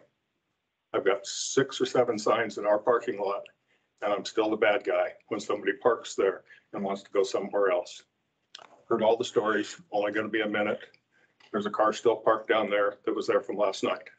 So we're gonna say that somebody else is gonna enforce this, and yet that's the city. The city has one code enforcement lady. Nice lady, but she can't do all this. So reality needs to land on a few people also. So parking has been covered, um, more than once. I'm confused as to why there are two entrances to the property, when in the CBD district, I've always been told that you get one. We were allowed one. We closed off that parking area to control it. Um, Albertsons is, uh, historic in that it's always had two going back to Paul's, but everybody else has been cut down to one. So that part's confusing to me. I do not understand um, the lady that explained there were amendments made. And in 45 years, sorry, but being in the CBD the whole time, I've never been informed of what amendments were recently changed. So I'd like to hear about those. Um, The one entrance at the intersection, it's the most ill-designed intersection we have in the city. There is more confusion to drivers for the safety issue of watching where pedestrians are coming from. Um, More signs is not going to solve that. They do cross wherever they decide they want to. Wherever there's a curb cut, they're still crossing the street. If you look at Second Street at the Chevron station, the curb cuts allow them to go or give the indication that all of those are crosswalks. City removed them but that's not what the pedestrian does. So that much confusion in an intersection with poor alignment is a safety issue. Um, One is a business comment, I guess. I think it's interesting that the city seems to want to promote or accept the idea of temporary businesses, um, which I would see as a detriment to the other locals that are here in bricks and mortar and supporting and hiring people year round. Doesn't necessarily fall with you guys, I guess, to decide that. Um, The temporary porta potties and a scenic and shoreline environs, I, I don't understand how that even comes into a discussion and a review. Um, You can shelter them whatever you think. It's still a porta potty. Um, It's contained, you know, just like everybody talks about the dumpster out in front now. Sure, it looked pretty decent the first year. Looks like a dumpster from then on. So it's not something that is hidden that well. Um, The parking, the other is, I don't understand why the other developments have done anything are required to put in sidewalks. The discussion here around safety, and there's, there's no plan to even put one in. The rest of us in the CBD not only have one, we're required to maintain it. So why this isn't a requirement of this project is beyond me because you're creating a serious safety hazard. People will walk on that side of the street. They do now. Right along the side of the fog line. A truck with mirrors could take them out, but we aren't going to improve that when we have this chance. The drainage part, I know where the water flows. I'm the guy downhill. I put in a storm drain to handle some of that so that my basement didn't flood anymore. This, thinking that it's all gonna run straight back to the lake, go run some grades on it. Comes right from that intersection and flows east. So, thank you. I agree with the rest of the points. All right, thank you. Ryan, is there anybody outside? I know John Barth was here. I saw him walk outside and Went across the street. I'll go look. we're looking for John. Is there anybody else here in the audience that would like to speak that I haven't called your name? Don't see anybody out there. Oh, did he take off? All right, well, You speak if we didn't sign up? yes, if anybody else would like to speak, feel free. Just an address, sir. You left, Rob. You left. Uh, my name is Pat Allen. I'm six fifty Stockton. I Also own Pat's Glass, which is three oh one Railroad, a little bit of ways from that, but I was on P and Z when we approved the Maverick years ago. One thing I don't think that you're considering here is delivery trucks. And that comes, co- co-inspires with the sidewalks and stuff, because if you notice like Sysco, Pepsi, Coors, whatever, they're not going to park clear down over here to deliver. They're gonna park right here to deliver, and I just want to address that. We made a made, we made this huge mistake with Maverick because we didn't allow for a delivery truck. And now it's impacting my business because of all the big semis coming in. Thank you. All right, I think we got everybody here. Anybody else online or on the phone that would like to comment regarding this application? If you're muted, you might need to hit star six and it takes a few seconds.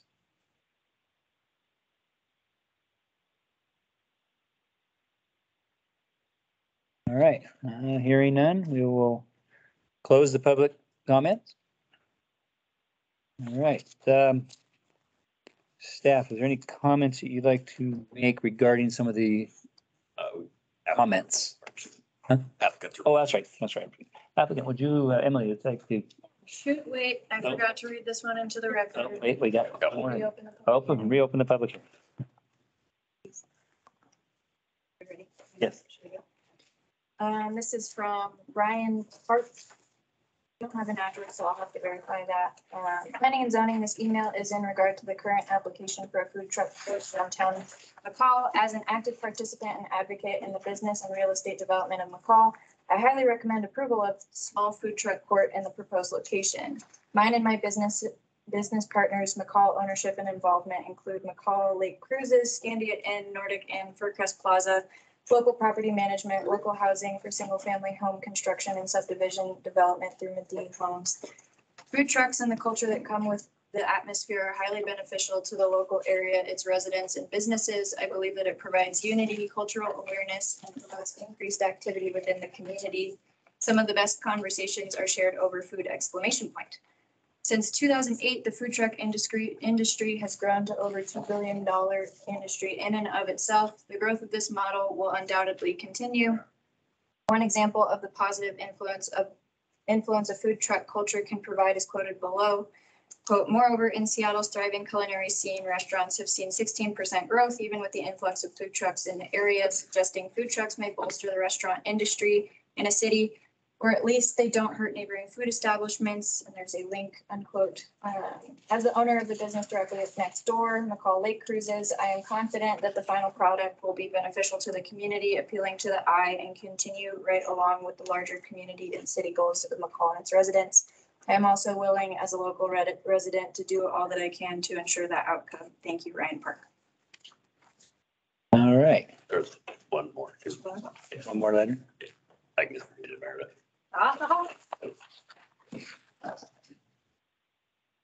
Brian, exclamation point, reaching out to share public comment in support of the food truck park in downtown McCall. When my parents were in town to visit this past September, the ability to take them out to lunch at Sticky Rice Food Truck didn't mean We weren't enthusiastically patronizing, patronizing local restaurants while they visited, including Stacy Cakes, North Fork, and a special anniversary dinner at Rupert's, just to name a few. It simply meant that instead of cutting my mom's downtown shopping spree short in order to make lunch at home one day, they were, one day they were here. We all enjoyed eating together at the location of the proposed food truck park and revitalized by some fried rice. My mom continued merrily walking into every single storefront in the downtown area.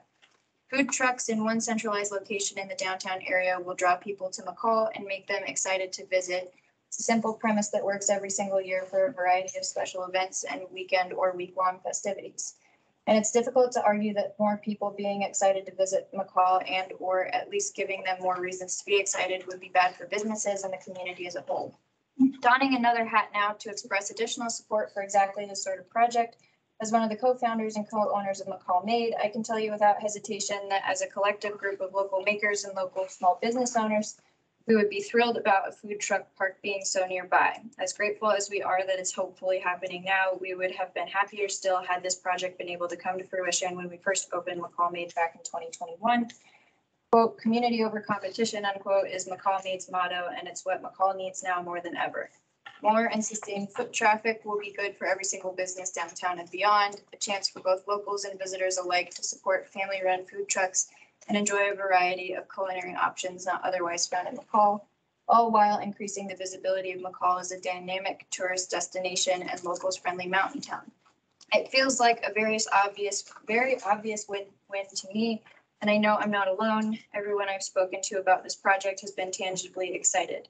Sincerely and still with a great deal of hope for the future of our beloved mountain town, Carrie Stebbins of McCall Made, and I believe her address is on Thompson Avenue. Okay. Um, Barster second, was there a letter submitted from John Barr? That came before three o'clock. Oh, we already sent it out, okay. Okay, one last call. Anybody here or online or on the phone would like to comment regarding this application? All right, we will now close the public comment. Emily, would you like to come up?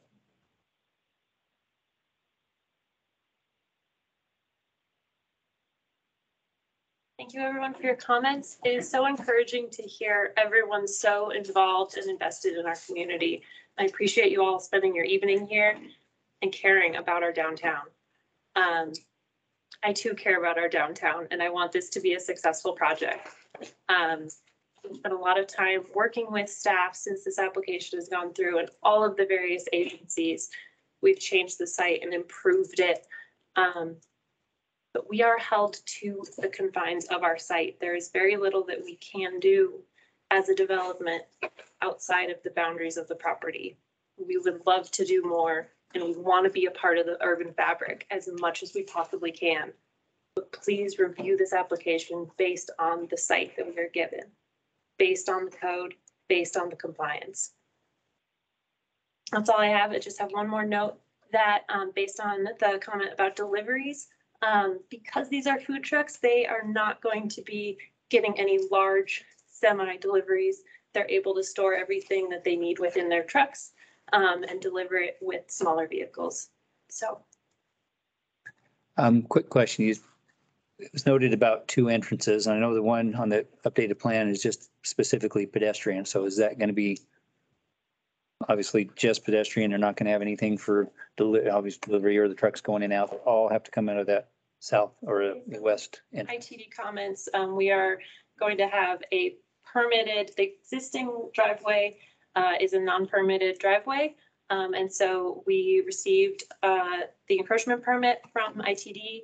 Um, this is shown to their standards with twenty feet wide and a twenty foot radius. Um, and we are just getting the one vehicle access point off of the highway. Um, and that will be fully to their standards. The other one, those bollards are intended to be permanently fixed, so it will also protect, protect, protect pedestrians. Okay. Um, oh, and one last thing, um, the, the grasses that we intend to grow in those planters, um, we have some amazing native grasses that get four plus feet tall. Um, you see them all out in the fields, and so we're intending to be both two to three feet up within the planter and then an additional four feet of grasses. So that'll actually provide five to seven feet of screening. Um, commissioners, any other questions right now for Emily while we have her up here? I have a quick question. Um, I was wondering if you've given any thought about the guidelines for tenants, um, and hours of operations and, and how you were gonna manage that. Uh, Tommy, do you know hours of operation guidelines? I know you've gone through quite a bit of um, tenant agreement conditions. Yeah, do I, should I come up there? Can I just holler out? Up you go. Uh, yeah, we need you up there. Thank you.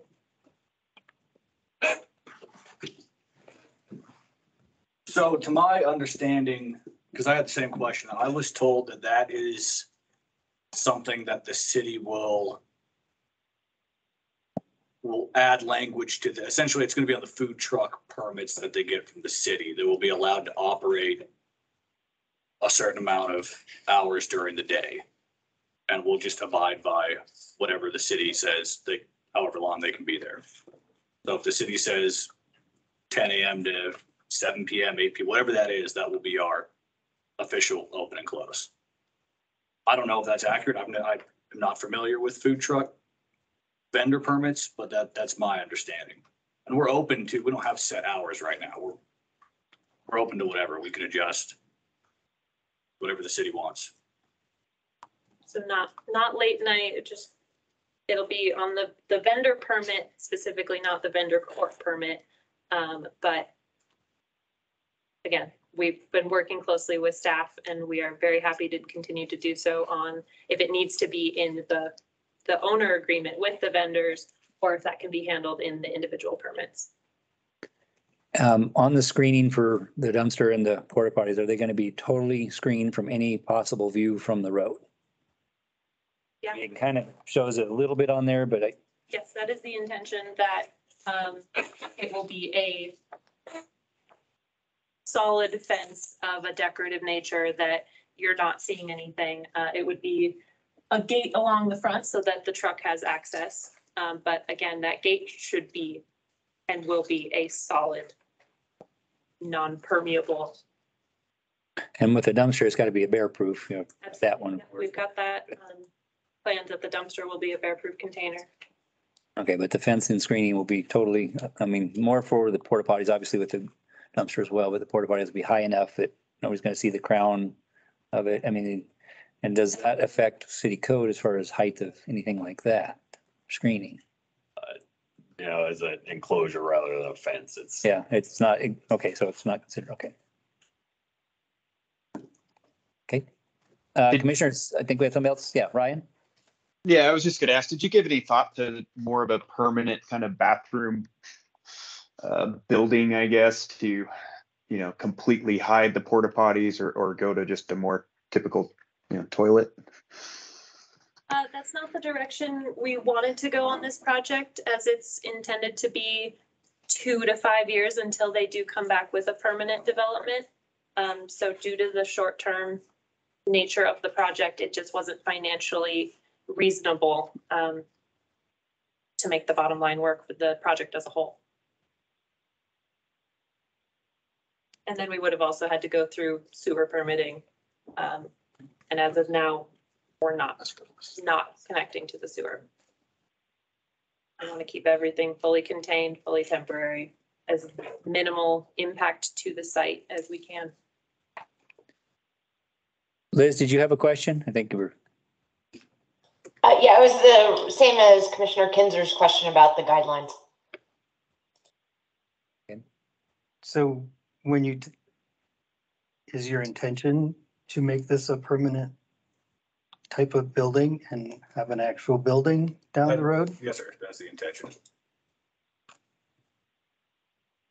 So at that Don't- point, Don't know what that looks like yet, I mean, at all, but. at that point, you'd have to address parking, sidewalks and everything else, right? Yeah, I'm- I'm guessing. that'd be a whole different, yeah. It sounds like it, yeah. that's- So you'll get a jump on it if you just do it now. The idea is that it would be a very different type of development, probably a very different use, and we would absolutely go through full engineering, traffic impact, all of that for a permanent development. Tony, did you have any questions for applicant? You Yeah. So I- I have another, I have another Okay. question, given the last few comments. Um, I mean, as it, as it is now, it seems very temporary to me, and I understand kind of the, the reasons, the financial reasons why you don't want to invest in some other infrastructure. Is it not your plan to continue a food court on this property? Um, you know, five years down the road? Is this just a, a short-term kind of plan to use the property for the next five years? Like, what are your, I guess, longer-term thoughts? Yes, sir, that's correct. I don't, again, I can't tell you what we're gonna, I don't know what we're gonna do with it, but our plan is to not, this will not be a permanent food truck lot in ten years. I don't think. As of right now, that's, that's what we're thinking. And so in our agreements with the city, we talked about if this were to continue past the five years, that we would go through a permanent vendor court permitting process.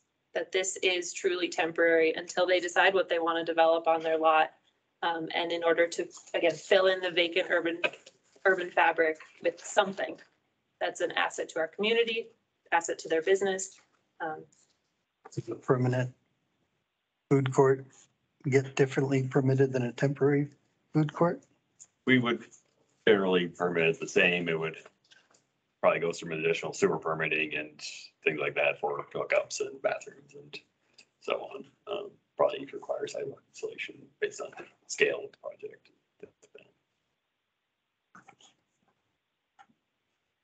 Brian, is there any public bathrooms nearby? I'm not thinking of any at the moment. The, Uh, that are city public Art bathrooms. Art Roberts. Park. Art Roberts, At yeah. Art Roberts Park, okay. Uh, Tony, if you want to comment, you're, I think you're muted. You might want to hit star six and if you have any questions?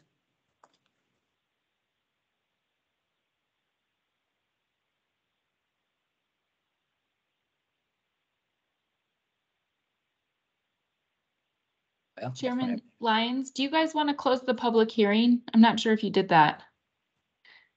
Uh, yeah, I closed it. Okay. Okay. I think that's it unless Tony shows back up, but. All right, um. Commissioners. Comments, any questions for staff? Comments in general, thoughts? I guess I got a question for Brian and staff is, you know, could you speak to the requirements of a sidewalk in the driveway en- entrances and, and how that lays out for, you know, this type of project versus a more um, brick and mortar type project? Yes, uh, the driveway entrances is fairly straightforward. They are proposing one vehicle driveway and that is um, really only, more of a loading zone type of a use than a driveway where the general public, anybody can turn in and out of there anytime they want. Um, the other is a pedestrian access point, um, rather than vehicle driveway. Um, and then the sidewalk, uh, it is generally required in central business district to install curb gutter and sidewalk. Uh, if the commission determines that it is not proportional to the development, it can be waived. Is that why it's not in here now? Because basically they're not, yeah, and you wouldn't know where the entrance is gonna be for something in the future, so that would be tough to do and then cut out part of it. Um, I know city public works obviously paints the parking spots and crosswalks. For Whatever reason, always seems way late in the summer by the time they get that done. Um, if this is approved, would it be something we'd be able to have the applicant have at least that crosswalk highly painted prior to operation, just if this, I mean, I don't know, because I know it's public works, but I mean, if they're opening that, because that right now you can't tell there's a crosswalk there, I mean, unless, you know, and so, Um, so the striping efforts, it's all weather dependent. know, um, and contractor availability. Um, and when we fit into that, so it does vary by year, but we do try to get it in June, have all the streets striped. Um, but then, of course, if it rains or if it's too cold, we can't stripe it when we want to. Um, there are the green flags at this location, but like everyone has said, you can't direct people very well or to read signs as well. Um, And I know there was a comment about putting an additional crosswalk on the west side of First Street to cross. Um, we're not in favor of that right now because you would be blocked by the building. Um, it's a line of sight issue. You would really need a signal there to have the four cross, the crosswalks in four directions, um, which has a trickling effect traffic wise and requires a lot more studies and cooperation with ITD. Um, so, yeah, it will get striped, but it's very weather dependent and contractor availability dependent. City does some of it themselves as far as, Yeah, we do the side streets, um, and then we work with ITD on striping Lake Street and Third Street since it's their right of way. could staff or or police do like some highlights on there if it's not, I mean, I know it's weather dependent, but if they don't have the other contract ready to go, because it always seems pretty late. I watch it every year for my office and it's typically later, I mean, it's end of June. And I'm just thinking anything there just to highlight that, even if it's not the final permanent one, just if possible. I'm not sure what their schedules look like. There's Yeah, okay, well, just some projects can happening. talk with, I think that would be Yeah. helpful. Um, and Brian, there were some questions regarding changes of the, that zone. What, is there anything? I can't remember what. So there was a general code amendment uh, that provides some permitting standards for temporary uses such as food truck courts. Uh, Like that was what was being. Okay.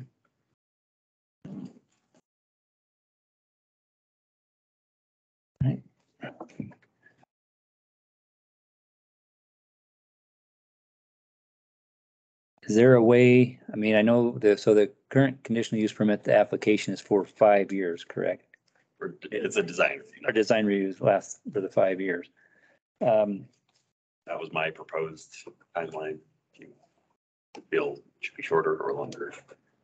So is there a way to potentially do it shorter to make sure everything works the way it's supposed to and there isn't really any major issues? The current condition of approval is, uh, this this will expire after five years uh, and can be extended administratively for an additional two years. Um, The temporary nature of this allows a lot of flexibility in identifying problems once they are up and running. Um, So I think it may be prudent to do a one-year uh, approval and then make administrative adjustments from there. They're gonna put several improvements in, so I don't know, one year, but I could see a two-year. Kind of work the bugs out of the first year type thing, and then your second year, if you don't have it fixed. Especially with affect some of the parking, I mean, obviously parking's gonna be an issue, always has been. Sidewalks downtown have taken away a lot of the parking, and so we just, it's parking. Your condition of approval two talks about proof of adequate, adequate sewer permitting. Access for the guy who cleans those porta Public hearings. Sorry. Uh, just, I just was wondering. Yeah, thank you. Uh, go ahead, Dave, I'm sorry. Condition of approval two, provide proof of adequate sewer permitting. Is that, If there's no sewer service required, again, a very easy condition approval to meet. And I know the health department will require their own inspections for each truck and everything, just like the one out of town. They gotta take care of their own wastewater. Um, I saw a comment about the uh, sewer district asked about the grease traps and stuff, but that's gonna have to be all taken care of for each individual based on their their individual application for a permit.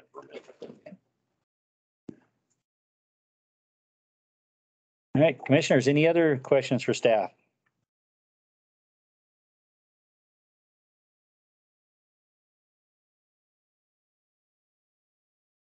Not necessarily for staff. I guess I just got a general comment that I think uh, Chairman Lyons, your suggestion of reducing the five-year term down to, you know, a shorter time frame to kind of test it out seems like a good suggestion.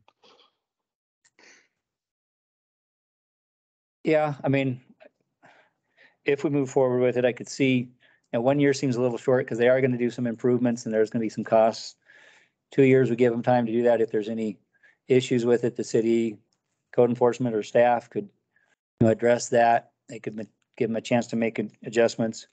And then beyond the two years, it would be up to an administrative approval to give them any more time. Again, that's how I wrote the condition. Oh, that's how you wrote. If you guys want having to revisit, Permission level design review, you can say that. well, I mean, we can do that, but I think you would know if there's, you're gonna get the phone calls, not us.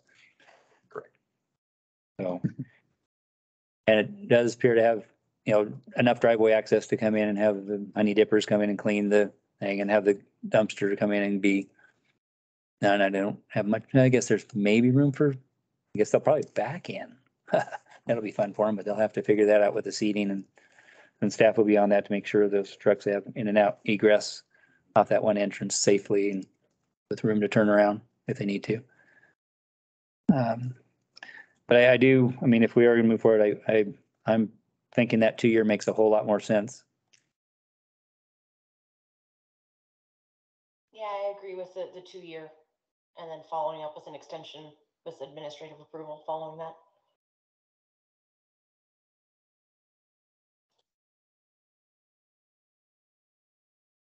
I guess a couple other comments. I, I would really appreciate um, some more kind of landscape screening, some natural kind of vegetation screening around the gray water tanks and the dumpster and the toilets to make sure that they really are blocked from, from views. Um, looking at the site map that's online right now or on the screen, it looks like, you know, at least from the road, you would still see the dumpster.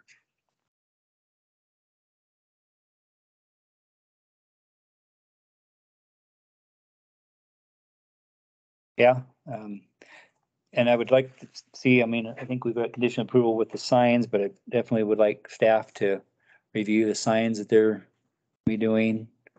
Um, they have, do they have to get any ITD approvals with the signage along that because the highway or can staff?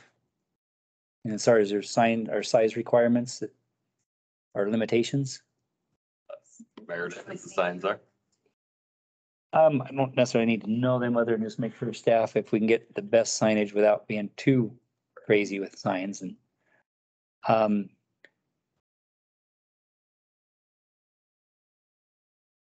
And I mean, I was just thinking too, is the, on the, uh. Inside the fog line there between that and the fence line. I know a lot of times people are cutting that corner pretty sharp, especially when the, the paint's worn off. Is that area gonna be striped and painted no parking, painted on the surface or just signs? It's, it's not proposed right now for striped, just the signage. What staff thought as far as striping that and just saying no parking? That's their- their- I wouldn't necessarily be opposed to doing that within the paved portion. Um, that is also not our right of way to make decisions on, so we'd have to coordinate further with ITD. I think that's worth at least question or discussion. Cause that would make it real clear and nobody's just gonna pull up there or hope that nobody's gonna pull up there and park.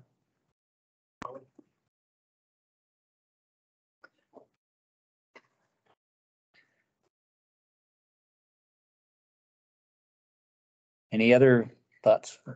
I Dave, You appreciate. seem like you have something. Yeah, I, I mean, I appreciate that, um, this is a private piece of property and what they are proposing is fits code, but I don't think that you can, you have a parking problem.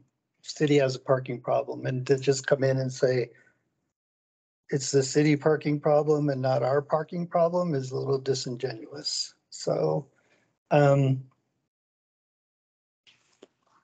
you know, it fits code, but I don't believe that it's the right fit for the city. That's my opinion.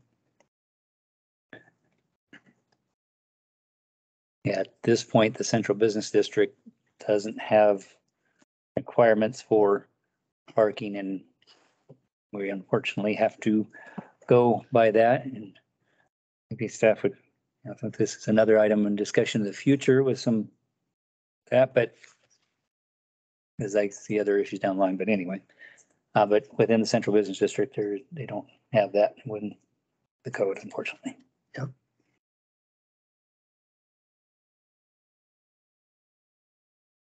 Ryan, So I- Liz, oh, Yeah, um, I, I want to kind of go back to like the guidelines or conditions, you know, the idea of somebody, you know, drying out their laundry when they're a, you know, food truck tenant in, in that space is, is concerning to me.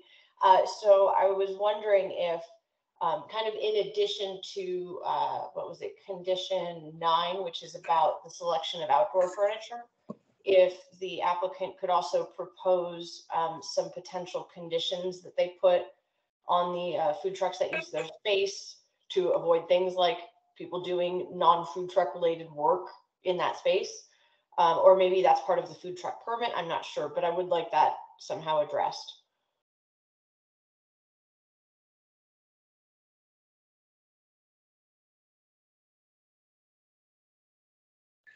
Is that within the food truck application It gets or permit? tricky, uh, leasing lease agreements, because we don't generally see them. Um, but we can definitely put a condition of approval that no materials other than menu signs and similar can be outside of food trucks. Leave it at that.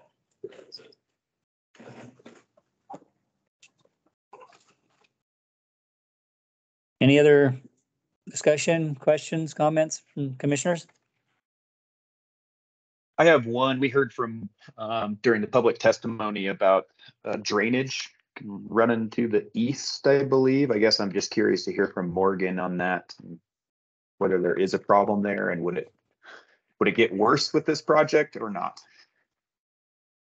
Um, I don't have the topography. I have the topography on our GIS and it shows most of the prop, the property basically draining north to the lake. There is a lower spot that looks like it might drain to the east. But it looks like, I don't, I wouldn't anticipate an increase in runoff since this is all just gravel. And there's vegetation along the property lines that would capture that runoff before going to the neighboring properties. So I wouldn't anticipate it to get worse.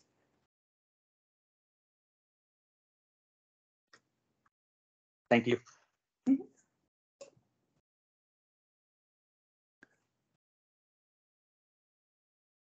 All right. Commissioners, anybody interested in doing a motion?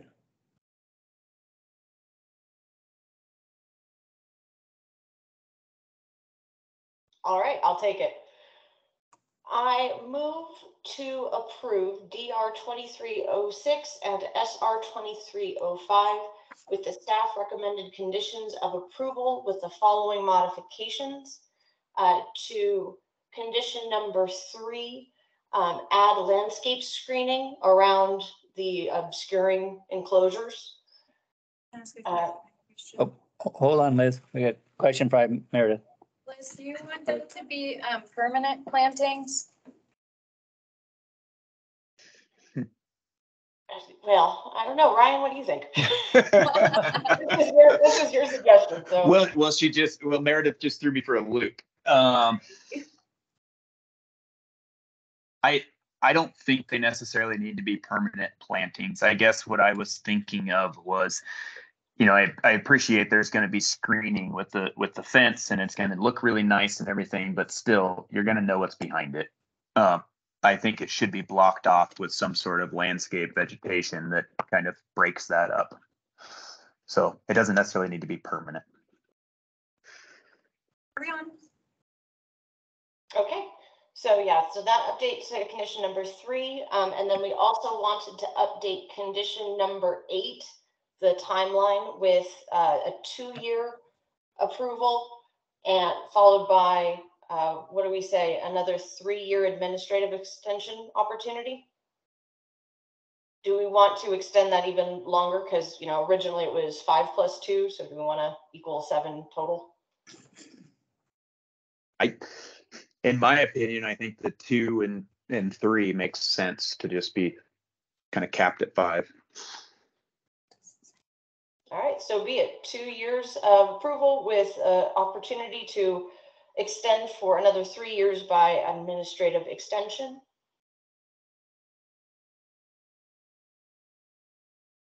And then I don't know if we want to add this to a condition or make a new condition, but the whole um, food truck activity avoiding hanging things that are laundry-like condition. I don't know exactly how to say that.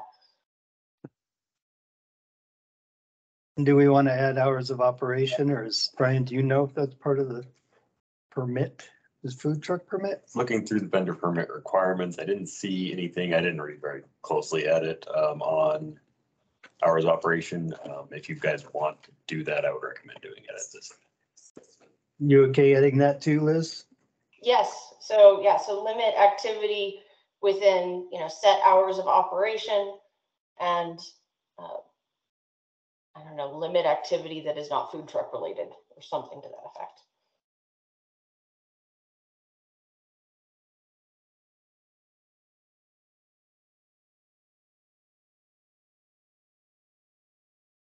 Right, I believe we have a motion then. I don't know if we- Do we need to, or Bill, do you think we need to restate that? I think Sky, they would. If, if Meredith has a clear record and the commissioners also have a clear understanding of the motion, that's great. Um, I can tell you as somebody that's just sort of listening in, it's not super clear what the motion was. So, um, I would suggest maybe that if Meredith has good notes, she could read those out and then I think it was Commissioner Rock could confirm that that was her intended motion and say so moved. I think Meredith always has great notes, so that's a very good idea. So let's go with that. Um, Commissioner Rock has a motion to approve with the following modifications. Modify condition number three to add additional either temporary or permanent landscape screening to the landscaping plan. Uh, modify condition number eight to indicate a two-year approval timeline with the opportunity to extend for an additional three years via administrative approval. Add the condition of no encroachments or unsuitable uses not related to the conduct of a food vendor court. Add hours of operation as set by the office of the city clerk. So moved. Second. All right, we have a motion and a second. Brian, can you do a roll call vote? Uh, Commissioner Rock, I, I, Commissioner Kinzer, Yes. uh, Commissioner Lyons, Yes. Commissioner Petty, No. Commissioner Moss. Yeah. I think that was a yes. Yeah. Yes, I'm Okay. here. Thank you. Good to. Okay. Motion has been approved. Commissioner Lyons vote? Yes. Oh, we did, okay. Maybe I heard Tony first. All right. uh, Commissioners, do you need a, well, I know we're trying to hurry up. Anybody here, Dave, Dave, do you need a break or anything? We're good? Okay, um, I'm gonna move on to design review twenty-three oh seven, shoreline twenty-three oh two, and scenic route twenty-three oh four for eighteen seventy Warren Wagon Road. Chad Gerhart and Mike Southwick. Mike Smith, I'm sorry. Smithwick. that's so. Um, who would like to come up? Oh, he's on his way. Yeah, thank you for your time. I'm uh, Corey Barnes with Pivot North Architecture, uh, the designer on the project. Um, So I'm here to kind of review the proposed project the eighteen seventy Warren Wagon. I have it all going. Dr. Yeah, it's better.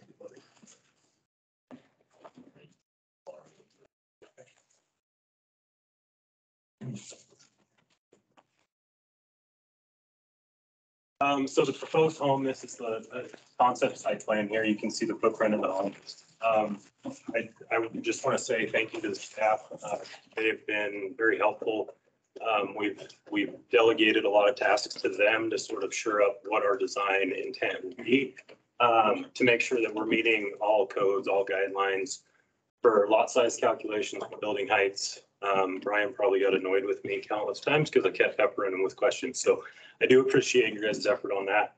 Um, I think we have met and exceeded all those code requirements.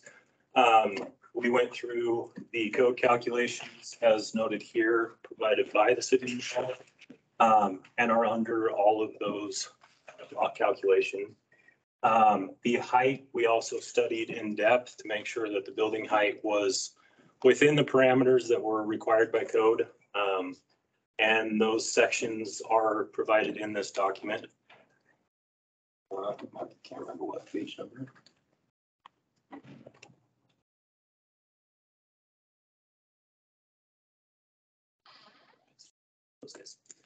Um, uh, no, next one, sorry. So as you can see in these, in these diagrams, we've, we've really studied this. Make sure that we're not impacting any of the height restrictions. Um, we, we redone the floor plans, we've reworked some things that there were some initial questions on initially. Um, and those have been rectified to, to meet what was requested of us.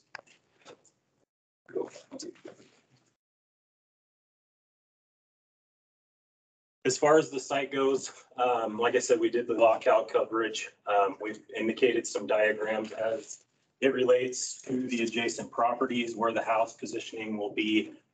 Basically here, and our goal was to try and not impede anybody's views, corridors, try and maintain sort of this, the, the law as it is. Um, there is an existing cabin that extends out into the current high water mark setback. We are abiding by that, pushing the house back so that we're not in it. Um, a survey was done and we've based everything off of that survey. Um, setbacks were determined based on our lot calcs, our building width. Again, ran through Brian extensively to make sure that we were on the right track there. Um, and then that dictated our building heights. We could go to the next. Uh, The next one, please. Uh, as far as the site goes, uh, we want to preserve as much of the natural landscape as possible. Um, the large trees that are on the site uh, will be preserved as a screening element along the lakefront. Um, we don't want to expose the whole house, but the trees that, uh, will be preserved are noted on this plan. Natural vegetation elsewhere, um, as, as you can see, the driveway's been modified from what its existing entrance is and pulls it away, it will be gated. Um, and then the patio calcs and everything were done per city code. Um, and then there's a small path down to the lake and, and the property dock. And then running through some of the imagery. Um, so these are proposed images for the approach off of Warren Wagon. Um, and then the view coming down the driveway as the house kind of nestles into the hillside. Um, the front elevation, as you can see, we've tried to really integrate it into the natural slope of the site, so the building does not appear larger. Um, and so everything that's kind of to the north is very minimal as far as what's exposed from the house. Uh, looking up from the lake, kind of the views, these would be the presumed trees that are being kept from the, from the lakefront side. Uh, just another shot kind of from the south east corner of the lot.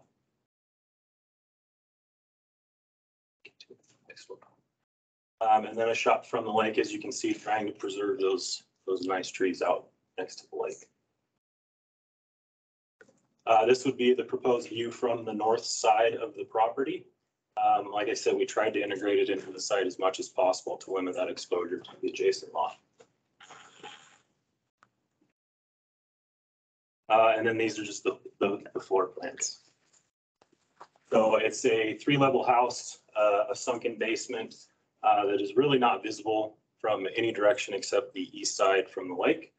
Um, and then the basement patio, which is primarily covered, um, I'd say eighty percent coverage by the patio above. And then the, the, it trickles down the hillside down to the shoreline. Uh, again, the main floor, primary entry, upper decks, all of which have been vetted by the calcs. And then the upper floor above the garage, um, that is, is just additional rooms. Uh, the proposed roof takes advantage of some low slope convex curved roofs. Uh, the intent is to hold the snow. Um, and then the runoff is, is really gradual, no steep slopes. Um, most of the roofs are, actually all of the roofs are low slope, um, with a number of convex curved roofs in the front. Uh, and then these are some, um, elevation images, kind of just to give an idea. The primary use of material on the building will be a wood siding cladding product vertically. Um, and then some, some stone and then a mix of some steel, uh, elements, a lot of wood timber, um, and then some accent with some big, large windows. Again, the north and then the south view. Same materials, pretty simple. Uh, and then back to the sections. So that is all. Okay, commissioners, any questions? Have you got snow storage figured out? Uh, not at this time. I think we understood that would be part of the building permit and we would direct the snow storage as part of that. I believe it was a condition.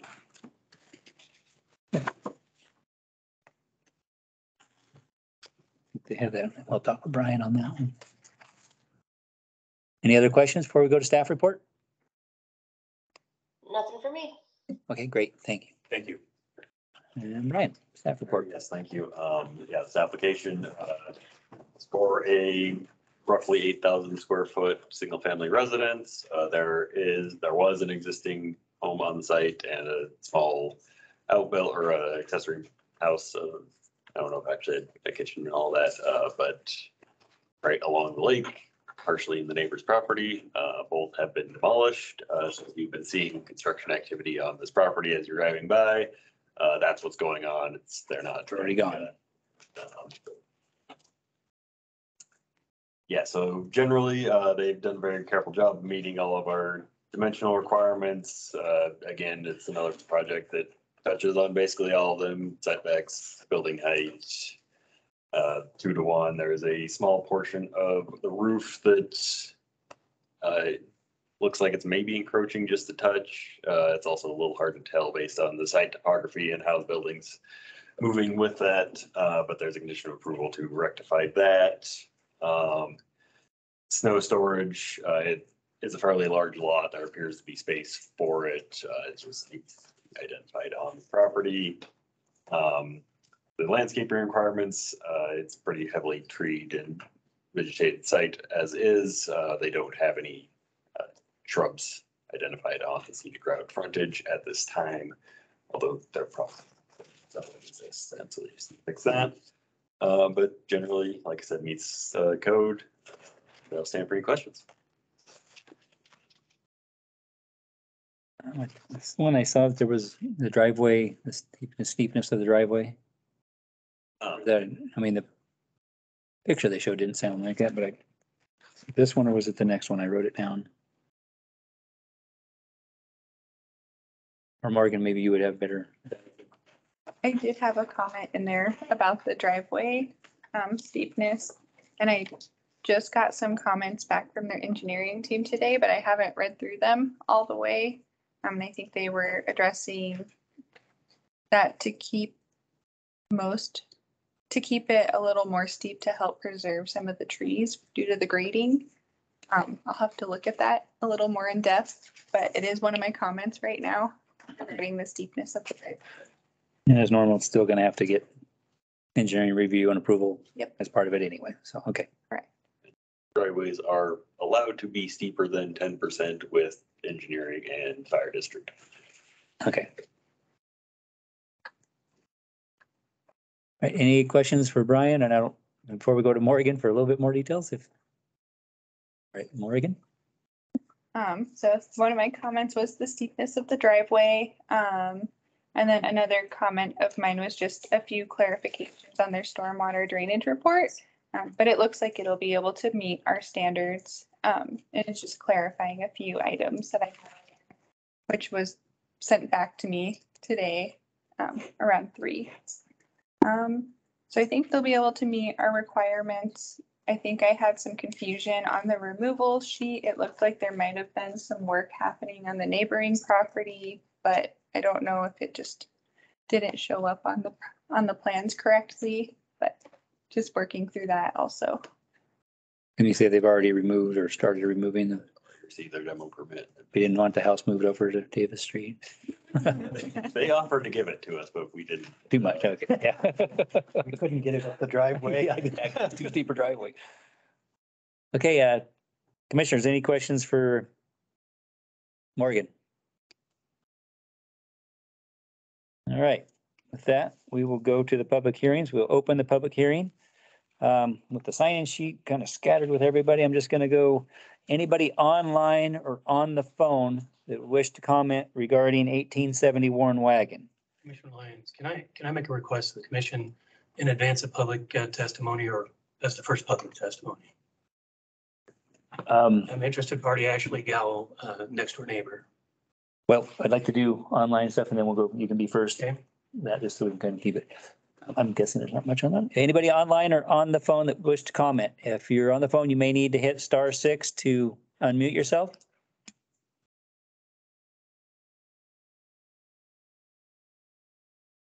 There ain't nobody? Okay, now we'll. Thank you. Um, Begin with your name and address. Uh, My name is Ashley Gowell, uh, address eighteen seventy-eight uh, Warren Wagon Road, the property to the north of the applicant.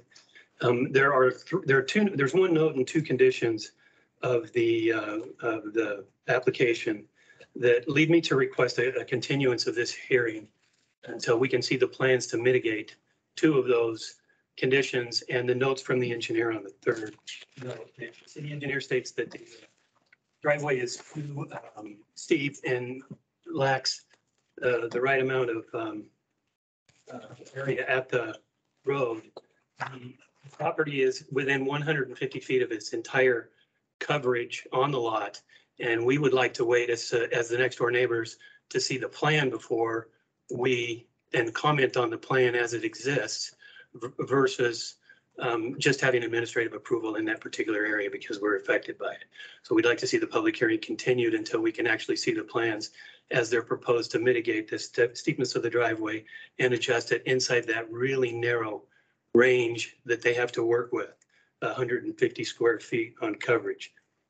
Uh, condition number three notes that there's no snow storage um, in the application, since we are next door neighbors and since the snow storage would be on our property line, we would like to see the plan and be able to review the plan before the commission takes action so that we can make appropriate comments ahead of the plan. And again, um, we trust the uh, administrative approval process, but being that it's an intimate property line, we think that we, uh, we would like to have the right to review snow storage plans and, and in another, and comment in the next public hearing or in the continued public hearing. Um, Condition number five speaks to the roof height and the setbacks, and uh, we would like to study that more carefully. It just, it suggests that it needs more look. It suggests that the uh, uh, staff is going to look at it and, and approve it administratively.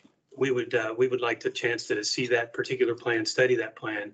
uh, That, that condition number five suggests is an issue and uh, comment on that in public hearing after reviewing it. So my request is that, is that the commission continue this public hearing until we see the actual plans from the architect uh, for answering that one note from the engineer and the two conditions of approval. That's my comment. Okay, great, thank you. Uh, anybody else here in the audience that would like to comment regarding this application? All right, one last call. Anybody online or on the phone that would like to comment regarding this application? All right, we will close the public hearing. Uh, applicant, would you like to comment regarding anything? Or respond to anything?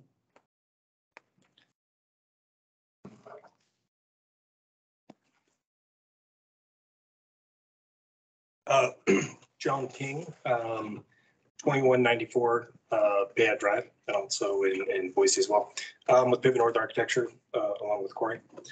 Um, I just want to address the comments. Um, like Corey said, we have, uh, worked very closely with staff. We have everything in three D. We have the model in three D. We have the site in three D. We have the survey. we can cut infinite sections of this. We are very familiar with the rules. And we, from the start, said we are playing by the rules. We're not going out of the rules. So whether it's lot coverage, whether it's setbacks, whether it's height, and we've made adjustments on anything that was close. I think there was a comment on one that there was some uh, concern, but it was really just the way the drawing was, and it was right here. This is well beyond. So we clarified that. This is just an image of what's beyond. So I think we worked with Brian and staff to sort of show that, that that is not, that is not an issue. Um, So we'd requested it not be continued. I think we've done the homework. I think everything in here is very reasonable that staff uh, can review. It's going to go through permit review. It's going to get scrutinized. It's going through engineering. Um, So I know he says we would like to review it, but I don't know that that's a reasonable request that individuals get to stall somebody else just so they can review it. I mean, we're professionals. We've been reviewing it. You have staff members, you have professionals. There's, there's checks to go through. And so I just request that it not be continued just to, I know that the neighbors probably slightly upset that there's a project next door. I understand that. We've got a property here, uh, number nine on the list, right next door to us. Uh, I've reviewed it. I've looked at it. You know, it's gonna be, we've had the place thirty-eight years. It's gonna be a little bit noisy. It's gonna be, but we looked, the submission's great. It's followed by the rules. I'm not gonna try and get in the way of it. You know, it looks great. So we're in, I'm personally in the same situation.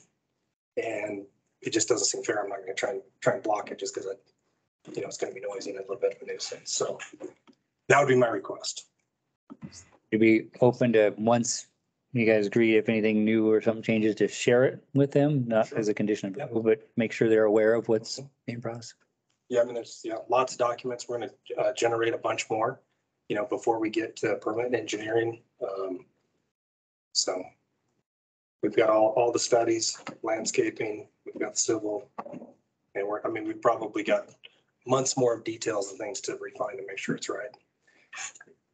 And I will say on the, you know, on the, we really try to keep the, the site natural. And I mean, snow storage is, you know, they come in with a big scooper and they, and they dump it. We will find a way for where that needs to go. We've got a pretty, pretty decent site. We've got uh, a long driveway. I think we'll have places to put it. Okay, Chairman Lyons, I would like to speak if it's possible. sorry, we've closed the public hearing or hearing part of it. Okay, thank you. Thank you. All right, uh, commissioners, questions for staff and discussion?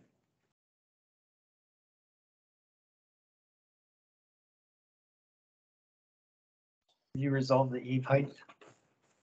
On Yeah. dimensional? Um, I was out of the office last week. It sounds like Meredith did some work with them.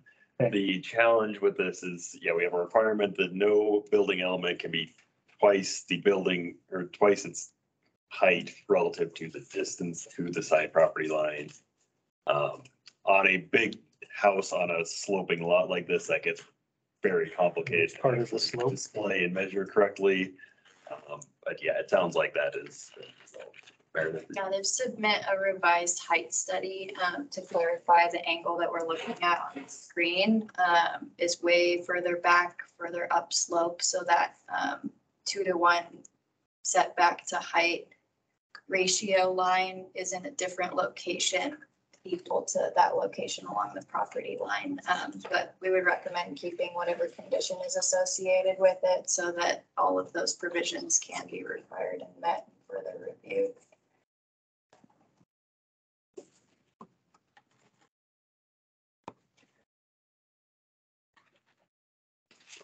I walked this today. It is a steep driveway. And I guess I, you've done this a long time and I'm, this is my first meeting, so I apologize, but you should be able to figure out where you're gonna put snow storage, right? Yeah, yep.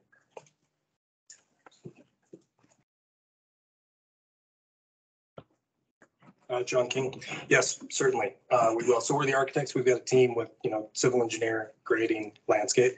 That's not in our scope, but we do coordinate that work and we will make sure that the snow storage gets identified and that it's all covered. I mean, we, we accept the condition that, that we need to meet it. And we'll work with staff, And I know Brian really well, but I would just like to say you're asking not to be um, postponed, but we don't have the, all of the information. So in the future, maybe. Yeah, so my, my take on that is the, in the process of obtaining the building permit will ensure that the applicants are in compliance. And anything that is in compliance in this case, we're gonna have to approve.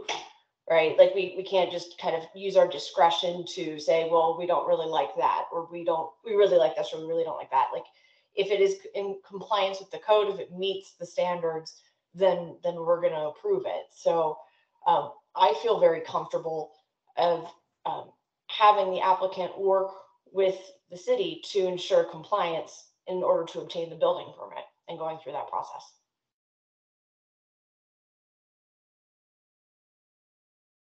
Yeah, Dave, there's quite often, there's a lot of, some of the minor items that will go back to staff. It- it would Rely on staff to, yeah. Fatal flaws.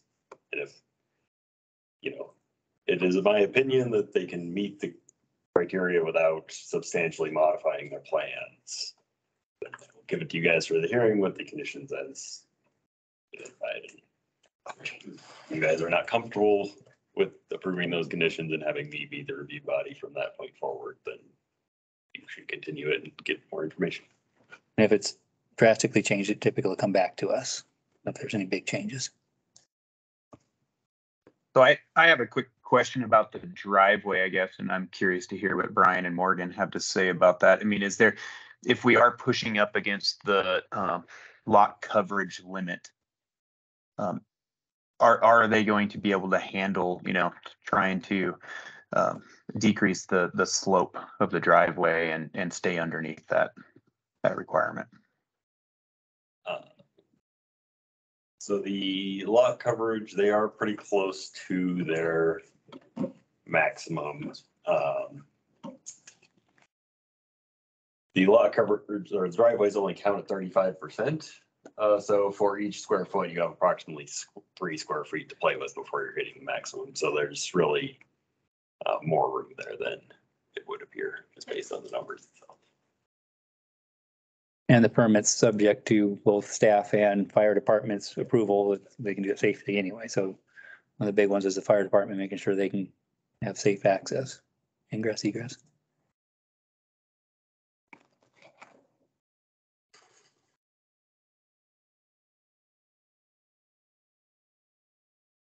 Any other thoughts, questions, discussions, motions?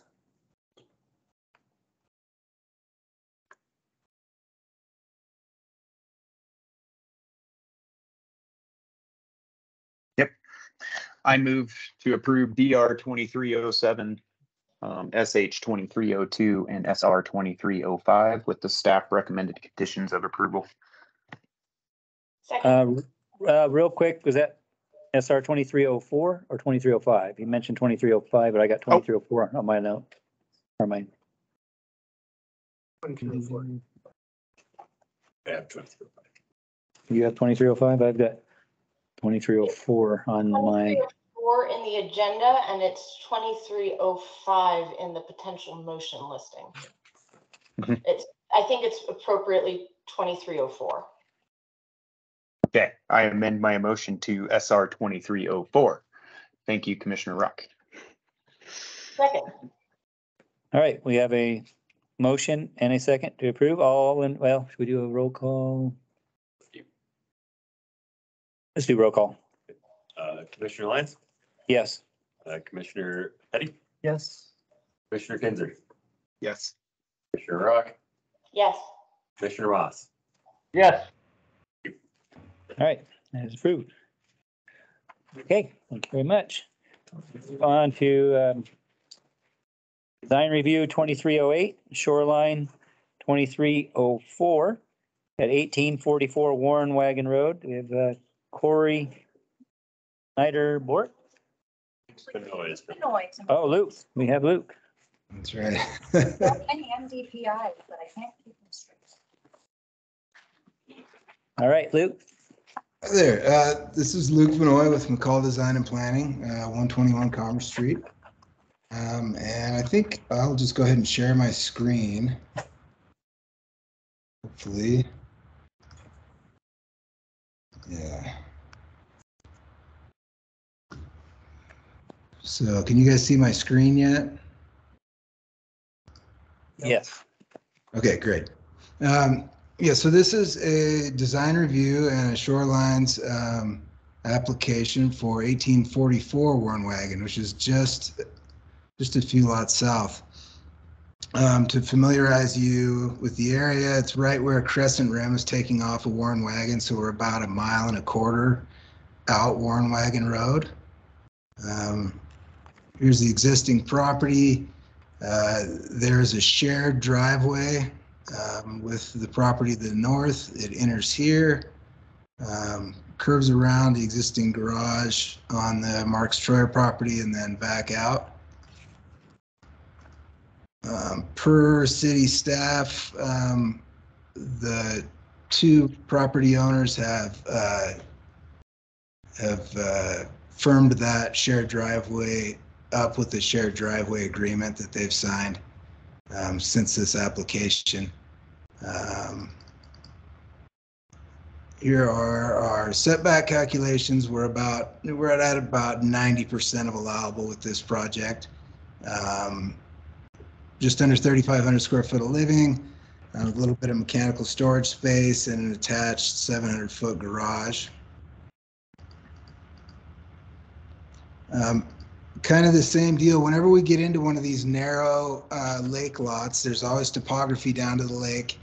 Um, and dealing with the half height setback really shapes the house. And so um, I'm going to show you a, a, couple sections similar to what you saw before on how we established that. And then we actually back check that in 3D, um, similar to what John was talking about. But um, here, this vertical line here is the 50 foot high water setback.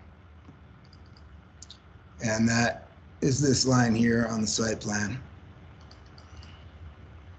Then we've got a 3D model of the existing topography off of the survey that we've had done, and we project that up 50 feet, or excuse me, 35 feet.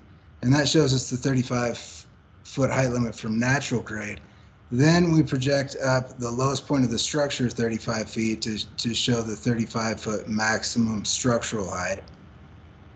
And then at any given point in the project, we're projecting up off the property lines um, at a, a, two to one angle there to show that we're meeting the half height setback. So no element can be closer than half its height to the property line.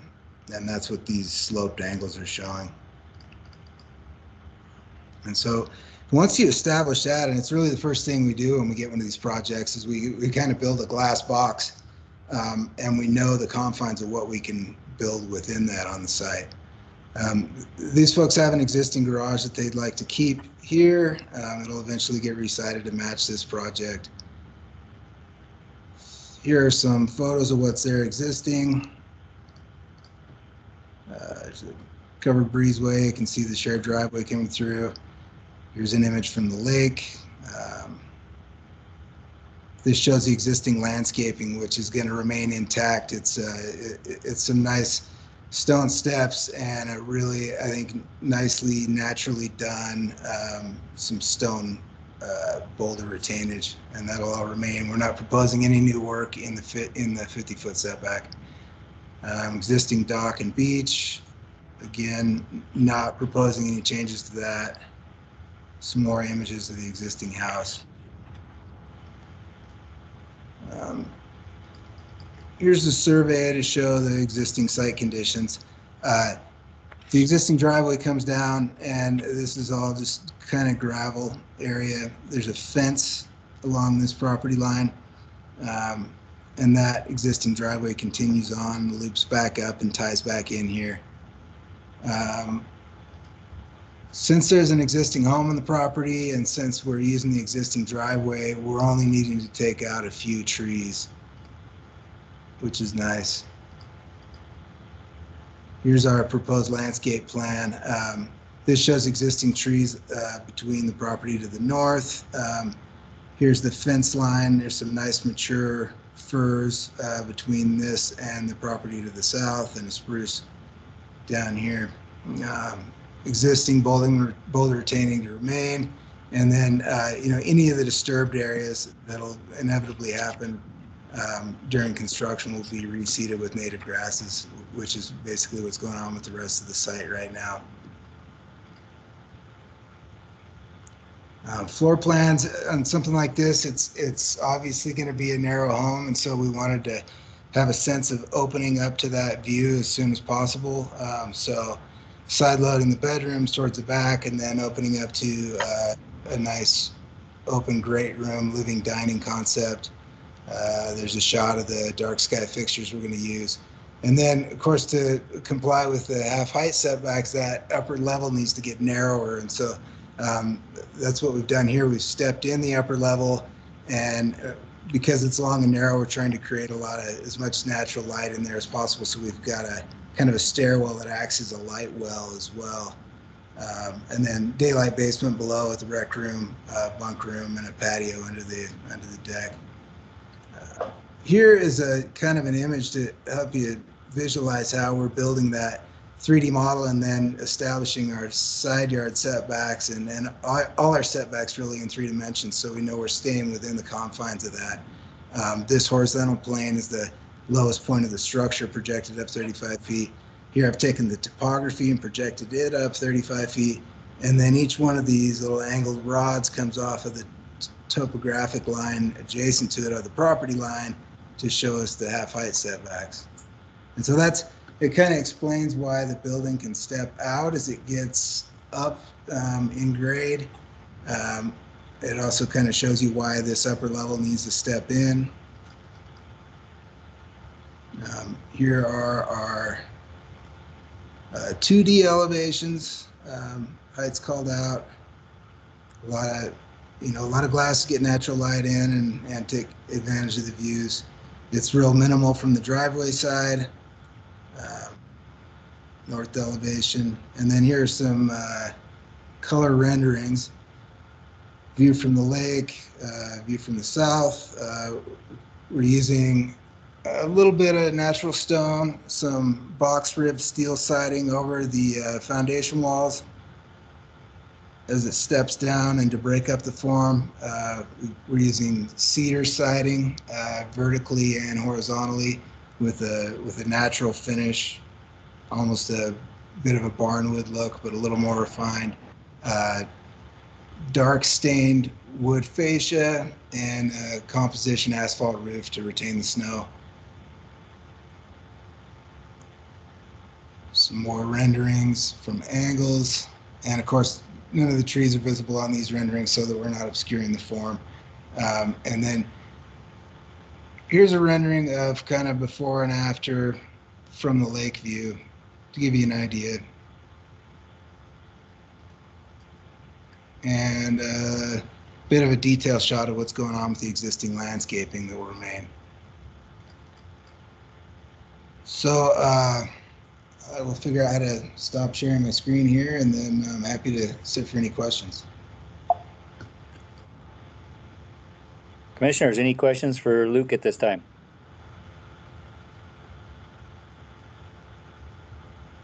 All right, thank you, Luke. Uh, Brian? Yes, thank you. Uh, you guys may be noticing a pattern tonight. Uh, Lake, lake. a lot of big houses on the lake coming in. Uh, yeah, then they meet all dimensional standards, did a very nice job of demonstrating and uh, meeting the two to one height setback as shown. Um, yeah, have adequate landscaping. Uh, yeah. Pretty straightforward application. Yeah, pretty question. Any questions for Brian before we go to Morgan's report? Morgan? I just had a few comments, but all their stormwater items looked good and I didn't have any additional comments on their stormwater report. Um, this was another one of those lots where it looked like there might be some construction or some removals on the neighboring property from what's already there. Um, so just clarifying if there's permission or an easement of some sort to do that removal. Okay. Commissioners, any questions for Morgan? Before we open it, okay, we'll open this for a public hearing. Is there anybody online or on the phone that would like to comment regarding this application for eighteen forty-four Warren Wagon Road? If you're on the phone, you may need to hit star six if you're muted. Anybody here in the audience that would like to comment regarding this application? Right, anything there, Brian? No? I've been joking. All right, uh, hearing none, we'll close the public hearing. Uh, Commissioners, any questions, thoughts? Uh, Everything seems to be pretty straightforward with this one. Seems to fit in with all the requirements. Conditions of approval gonna take care of a couple of small items, but it seems pretty straightforward. I agree. No questions for me. I think it looks good. Same for me. Tony, anything for you? Make sure you're still awake. Sorry, wake up, covered it, have any questions for you, even though I may look like I'm asleep in my. Oh, you're good. Just glad to see you back. Glad to be back. All right, um, well, open for motion. I move to approve DR twenty-three oh eight and SH twenty-three oh three with the staff recommended conditions of approval. Okay, once again, I've got a different number than you've got. I got a shoreline twenty-three oh four.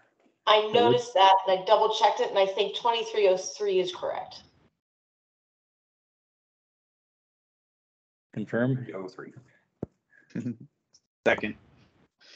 Okay, twenty-three oh three is correct, and we have a motion and a second. All in favor? All right, Aye. uh, any opposed? Hearing None, the motion is carried. Okay, great, thank you. All right, uh, everybody doing all right? Anybody need a quick break or we're doing good to move forward? Need a drink? Did you bring some? We, we can do a pause if you got some beverages to share.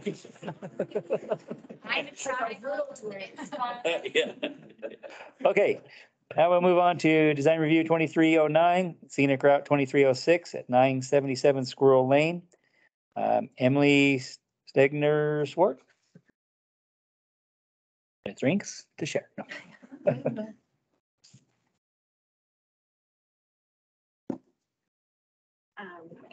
Emily Stegner Schwartz, and my address is, uh, you want my address, right? Yes, please. Um, twenty-one forty Payette Drive. Um, I'm the architect, uh, on this project.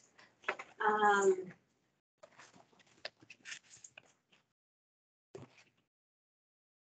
so,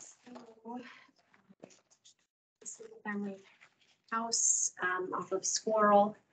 And, um, Squirrel Lane is also by, so Warren Wagon is the scenic route and then Squirrel. So this property will, unusual has three, um, three streets on, on three sides. So it'll be one street which borders a, a neighboring property. Um, The, sorry. Anything specific you think we jumped? No, I think I just want to kind of explain a little bit about, um, there's, there's an existing house. Uh, it's pretty dilapidated. It doesn't have a foundation, so, um, it's gonna be removed. And, um, the client wanted to do something, uh, with the pretty simple roof line, sort of to mimic some of the early, um, early buildings along the lake, which are vernacular style, which is just, um, a pretty lightweight structure, simple roof lines. And um, we purposely have uh, detached the house so directly several green lines through the property. Um, I think it's important that um, these new structures that are going up around um, McCall that have a little bit more transparency through the lot so that people can still driving down Warren Wagon still see to see where the, where the lake is. Um, it's, uh, has, yeah, it's a, I don't, I don't know what else to really say about it, uh, but do you want me to just explain the elevations or? Um, what are the elevations, please? It's just a a stone structure, um, gabled, um, roof and then a, and a two-story, uh, wood-clad vertical board, um, cedar structure. And, um, we also tried to maintain and save as many mature trees.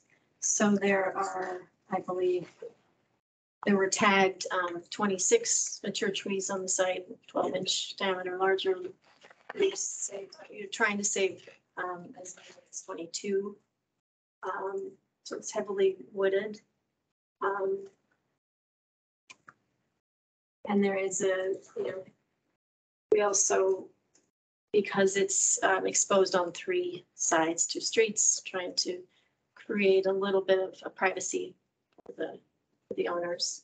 And also, um, there's an exterior flat uh, patio between the two gabled roofs that, um, that sort of serves as a, like a viewing platform to get up a little bit higher to, to get some lake views.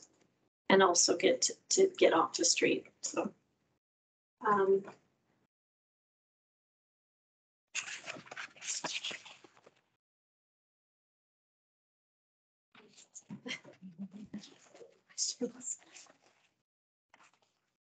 And was there gonna be, you're looking for like a, a bonus room or apartment type thing, I mean, not apartment above the garage? Not above the garage. Um, at the rear of the garage, we have a guest suite. Um, and, um, originally it was mentioned that, you know, a guest suite, I mean, as far as, um, planning code goes, it can have a bathroom, um, just not a kitchen.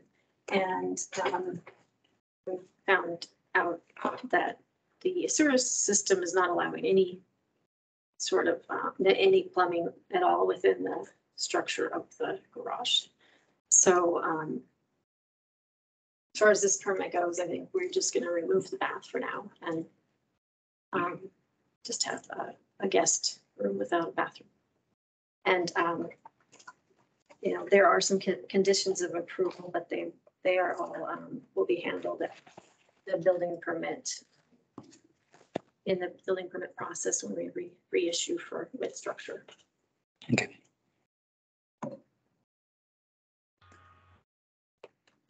Commissioners, any questions?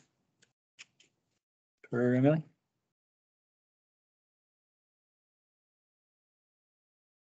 Okay, thank you. Uh, Brian, staff report. All right, yes, thank you. Um, this application is new single-family residence. uh. Uh, Meets same criteria. It's a little smaller and, uh, than the others. It's still a thirty-four foot tall structure. Um, yeah, they do a pretty good job. Detached garage, splitting up the elevations into two separate roof lines, uh, helps to minimize the scale on it.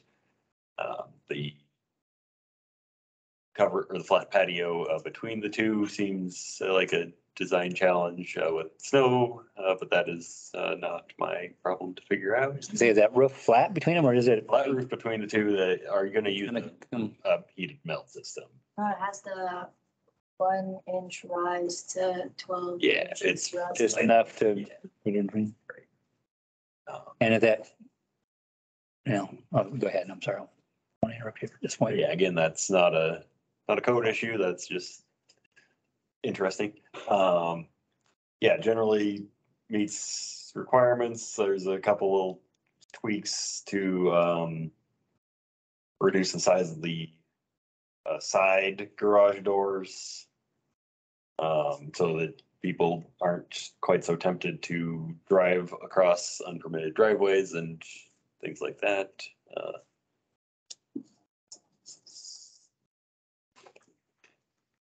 add some windows on the garage facade. Uh, but yeah. Provide sewer permit or remove the plumbing in the uh, garage. Uh, That'll stand for your questions. Commissioners, any questions for Brian before we go to Morgan's report? Morgan, Um, I didn't have many comments on this project. The only comment is just the stormwater items. Um, but it's below the five thousand square foot threshold, so it's more just documenting what the stormwater is doing and where it's going. Um, and how this might affect that historic flow that might be on the property. Um, but I think it's relatively flat of a property, so I don't have too many concerns about it. okay, great. A question, Brian. Yeah, Tony? Go, go back a couple frames on your, on your pictures of the building, would you please? They're right there. Whoa, go up one. That's, that's a good one right there. This area in the middle here, is this an adjoining deal between the house and the garage? So there's Right there? a detached garage and then rotated ninety degrees is the house. Uh, and there, the house gives the appearance of two separate structures, but it's actually one connected unit. So this is kind of, this, this is like a breezeway between the two structures, or am I just looking at it? more or less. Um, Here's the roof plan, the building, flat roof, gable roof. And this is gonna be a flat area between the two buildings, actually, right?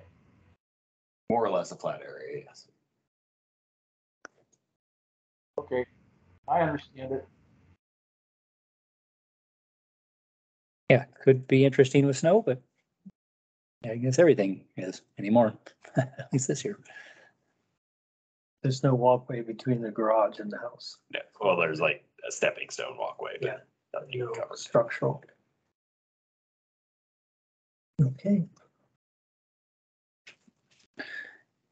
Right, any other questions before we open the public hearing? Okay, at this point, we'll open the public hearing. Is there anybody online or on the phone that would wish to comment regarding this application at nine nine seven Squirrel Lane? If you're on the phone, you might need to hit star six to unmute yourself.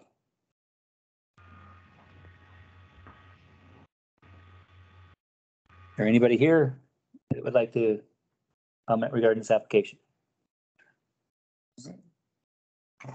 Nope, Hearing none, we will close the public hearing. Uh, Commissioners, discussion.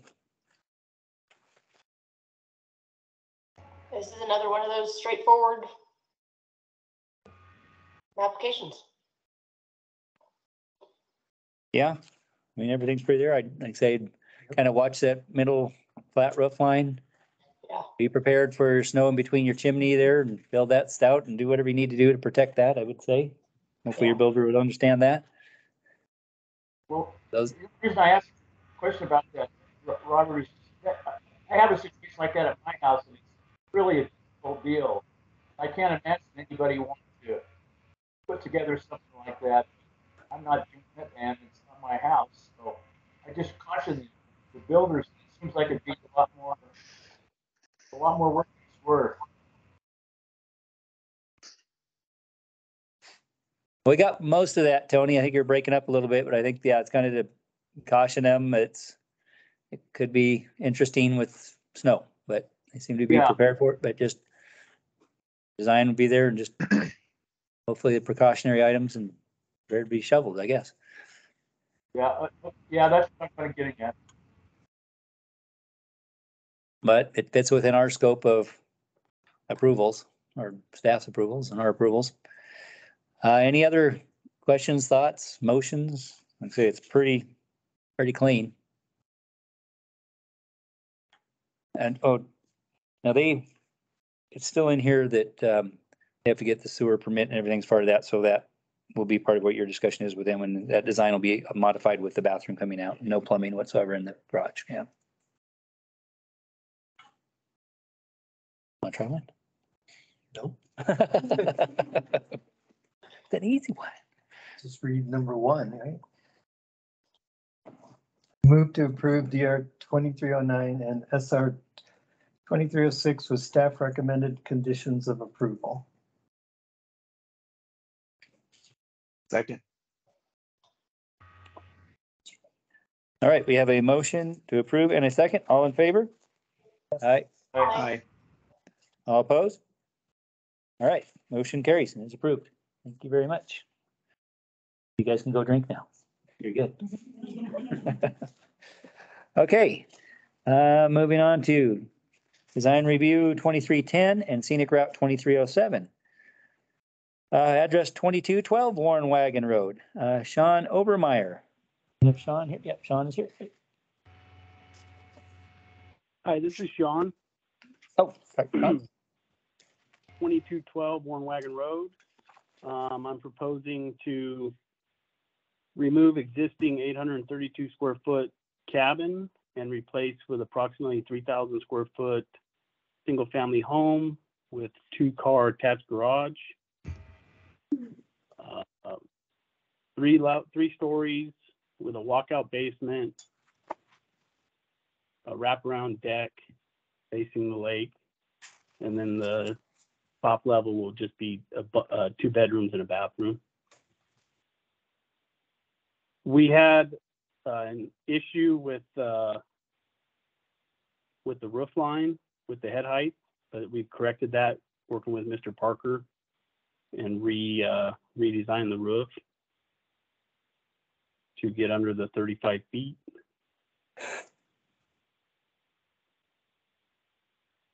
We're going to replace any of the uh, ground disturbed by the construction with natural habitat, grass and whatnot.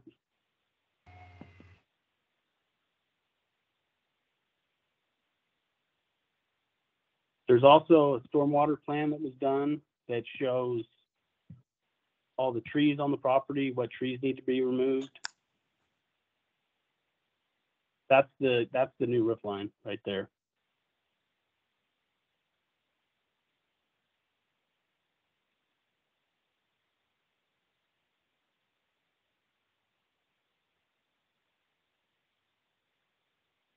Okay, uh, commissioners, any questions for the applicant? At This point. Ryan, staff report. Yes, thank you. Um, yeah, again, new single-family residence, uh, replacing an existing structure. Um, like it stated, we've been working pretty closely on meeting the building height requirements on this one. Uh, there's some confusion on the more restrictive of finished floor or existing grade requirements. Uh, They have provided them. It doesn't look like they made it into your meeting packet, the new plans. Uh, but they are compliant. Um, the conditions of approval are pretty straightforward. Again, identify snow storage. uh, And then get a one foot topo survey prior to construction, so we have a record of where existing grade is. Uh, in case there are building height questions, uh, on construction. So that's prior to start? Great.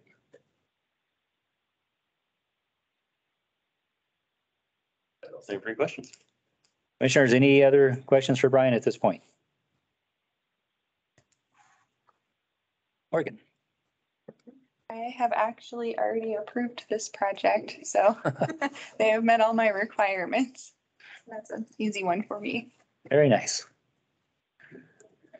All right, um, this is a public hearing, so we'll go ahead and open up for public hearing. Is there anybody online or on the phone that wish to comment regarding this application at twenty-two twelve Warren Wagon Road? And if you're on the phone, you may need to hit star six. Is there anybody here in the audience that wish to speak regarding this application? All right, hearing none, we will close the public hearing. Uh, Commissioners, once again, this is pretty clean. It's rare that um, engineering is already approved, so that's nice. Uh, Looks, again, pretty straightforward. So any, any thoughts, concerns, questions, motions? I thought you had motions there at the end. No concerns from me.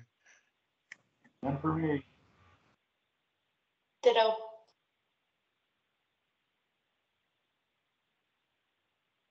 I'm open for a motion. Go I for it. move to approve DR twenty-three ten and SR twenty-three oh seven with the staff recommended conditions of approval. Okay. We have a motion to approve and a second. All in favor? Aye. Aye. Any opposed? All right, motion is approved. Approved, great. Thank, thank you, John. All right, uh, yes, thank you, sir. Moving on to, um, sub, subdivision, sorry, somebody online? No, subdivision twenty-three oh one at, on Stockton Drive. Um, we got Heco Engineering, we got Elva Torres, we got Jesse Christensen. Jesse Christensen here from Eco Engineers. Uh, our address is fifty-seven hundred East Franklin Road, Nampa, Idaho eight three six eight seven. I am not here to share or to, uh, show you a property on the lake. I apologize, everybody.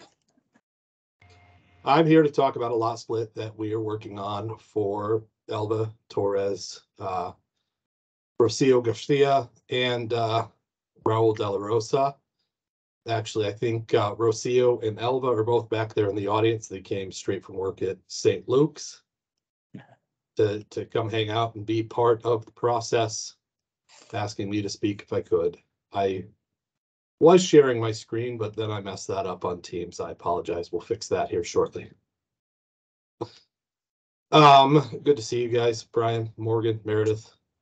I hope we're all having a great evening. Um, I just wanted to let you know that, uh, the Elva moved into the area four years ago, bought this piece of property, looking to find an area to split to share with, uh, Rocio and Raul, place that they can live next door to each other. They have Rocio and Raul have three boys. They all have benefited greatly from the McCall school system. It is way better than where they came from. They're very happy living in the area. So it, it, it seems like a good fit for them. What we've got here is a two acre lot off of Stockton Lane, east, uh, Stockton Drive, east of your airport that we're looking to split into two, well, it's a two point three acre lot, one, one acre lot, and then one, one point three acre lot with septic systems and drain fields. Each home will have an individual well. Each one will take access individually off Stockton Drive. We did get a notice from this neighbor that their drain field might be a little close to our well, so we'll probably need to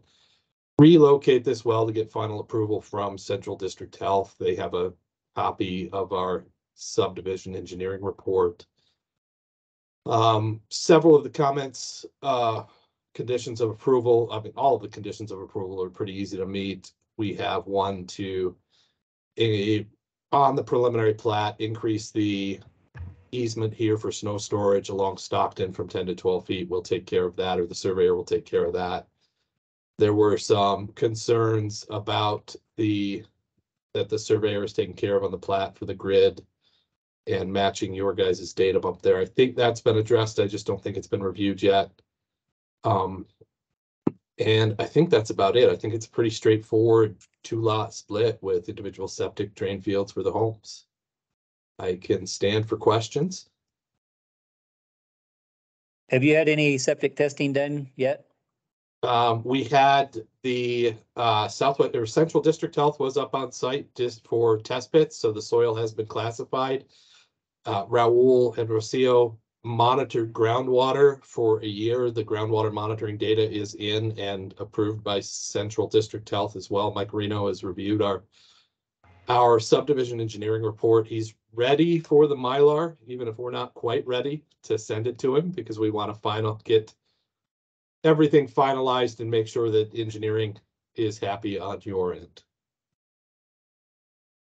Okay, that was for both lots, correct? That was for both lots. Yes, both lots have a test pit on them. Okay. We centralized the drain fields kind of between the two lots or the area for. Uh, I'll go back to sharing that real quick. Oh, that's my son. He's a sweetie, turned thirteen. Uh, test pit was here for the two drain fields centralized between the two lots. It was kind of easier to mark the two and Mike Reno actually suggested the, the single test bit from Central District Health. Okay, Commissioners, any other questions? This lot appears to be in front of, well, we can do this during discussion. But Any other questions for the applicant at this point? Brian, staff report. All right, thank, thank you, Jesse. Thank you. Thank you. This application, uh, normally you would see it on your consent agenda as a record of survey. As this parcel was modified in twenty fourteen, it no longer meets the legal definition of lot of record. Therefore is not eligible for that process anymore, so it has to go through the preliminary and final plat. Instead, um, very straightforward subdivision. Most of my comments are uh, typo type things. Uh, they want, the preliminary plat is labeled De La Rosa subdivision, everything else is Stockton. Uh, I don't have an opinion on which one is better than the other, just be consistent. Yeah, I think Uh, that's mostly my fault. I apologize, Brian. Uh, I never there's a plat finalized it that. It says that this property is not located near an industrial use. Um, which uh, I don't find that to be very helpful, uh, so take off. Uh, but other than that, uh, recommend approval. Any any questions? Any questions for Brian at this point, commissioners? No. Morgan, I, Um, I have a quick, Nope. well, go ahead, Morgan, and then I'll ask, Oh, because you might answer it. Um, most of my comments were on the plat document itself and giving the information on how to meet our digital data submission standards. Um, and then I had a few on the site plan. There's two additional driveways being shown on the proposed site plan, and one request is to move one of the driveways or to share two of the driveways because there's an existing driveway to six forty-one Stockton Drive that is currently on that eastern property line. Um, and then that leads to the second comment that I believe there were culverts installed for six forty-one Stockton Drive under that driveway to convey some flows. And I didn't see it on the plan, so just showing where that all is, and making sure it's not conflicting with anything that's being planned. Um, so those were my comments.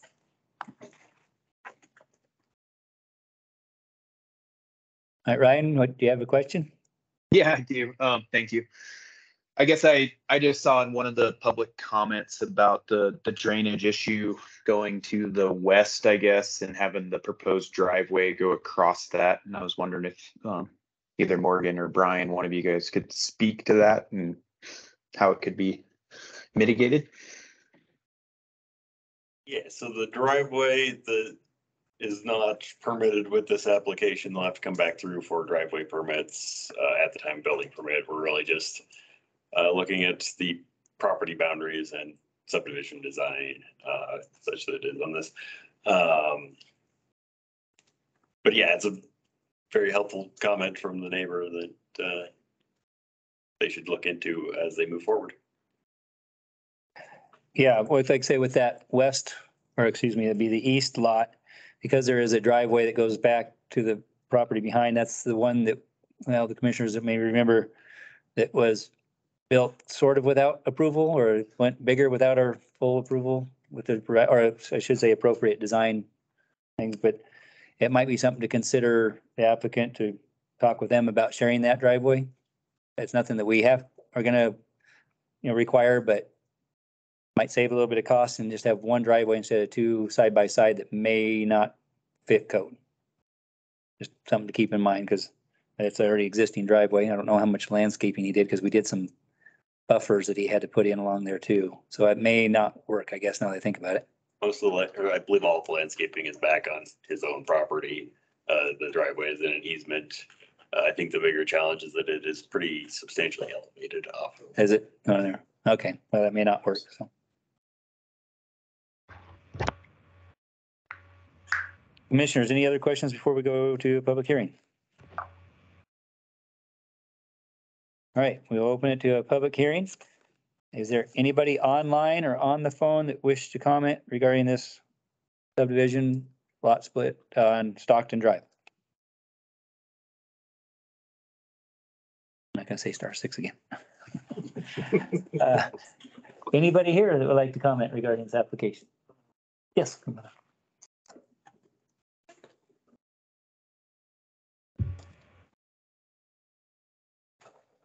Hello, good afternoon. My name is uh, Adrian Escobedo. I live fourteen ten Virginia Boulevard. Uh, Elva's my mom. Rocio's my sister. Um, We're gonna be splitting these lots and putting in uh, two homes. We're not gonna be renting these. These are gonna be, uh, let's see. They're not gonna be rentals, is what I'm saying. We're not cutting down any trees. This is uh housing for essential workers pretty much.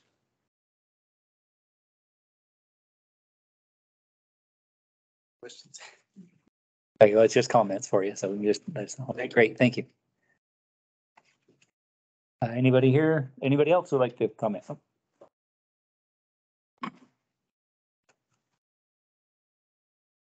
Um, Pat Allen, uh, six fifty Stockton. Um, You know, the ESPYs went through a subdivision process a long time ago. I don't know what year it was, but they elected to put this as a two acre lot. They had the opportunity to do a one acre lot.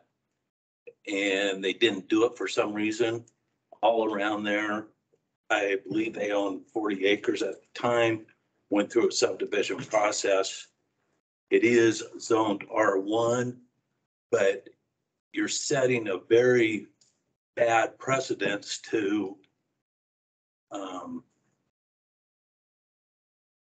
to divide up, especially a two acre parcel.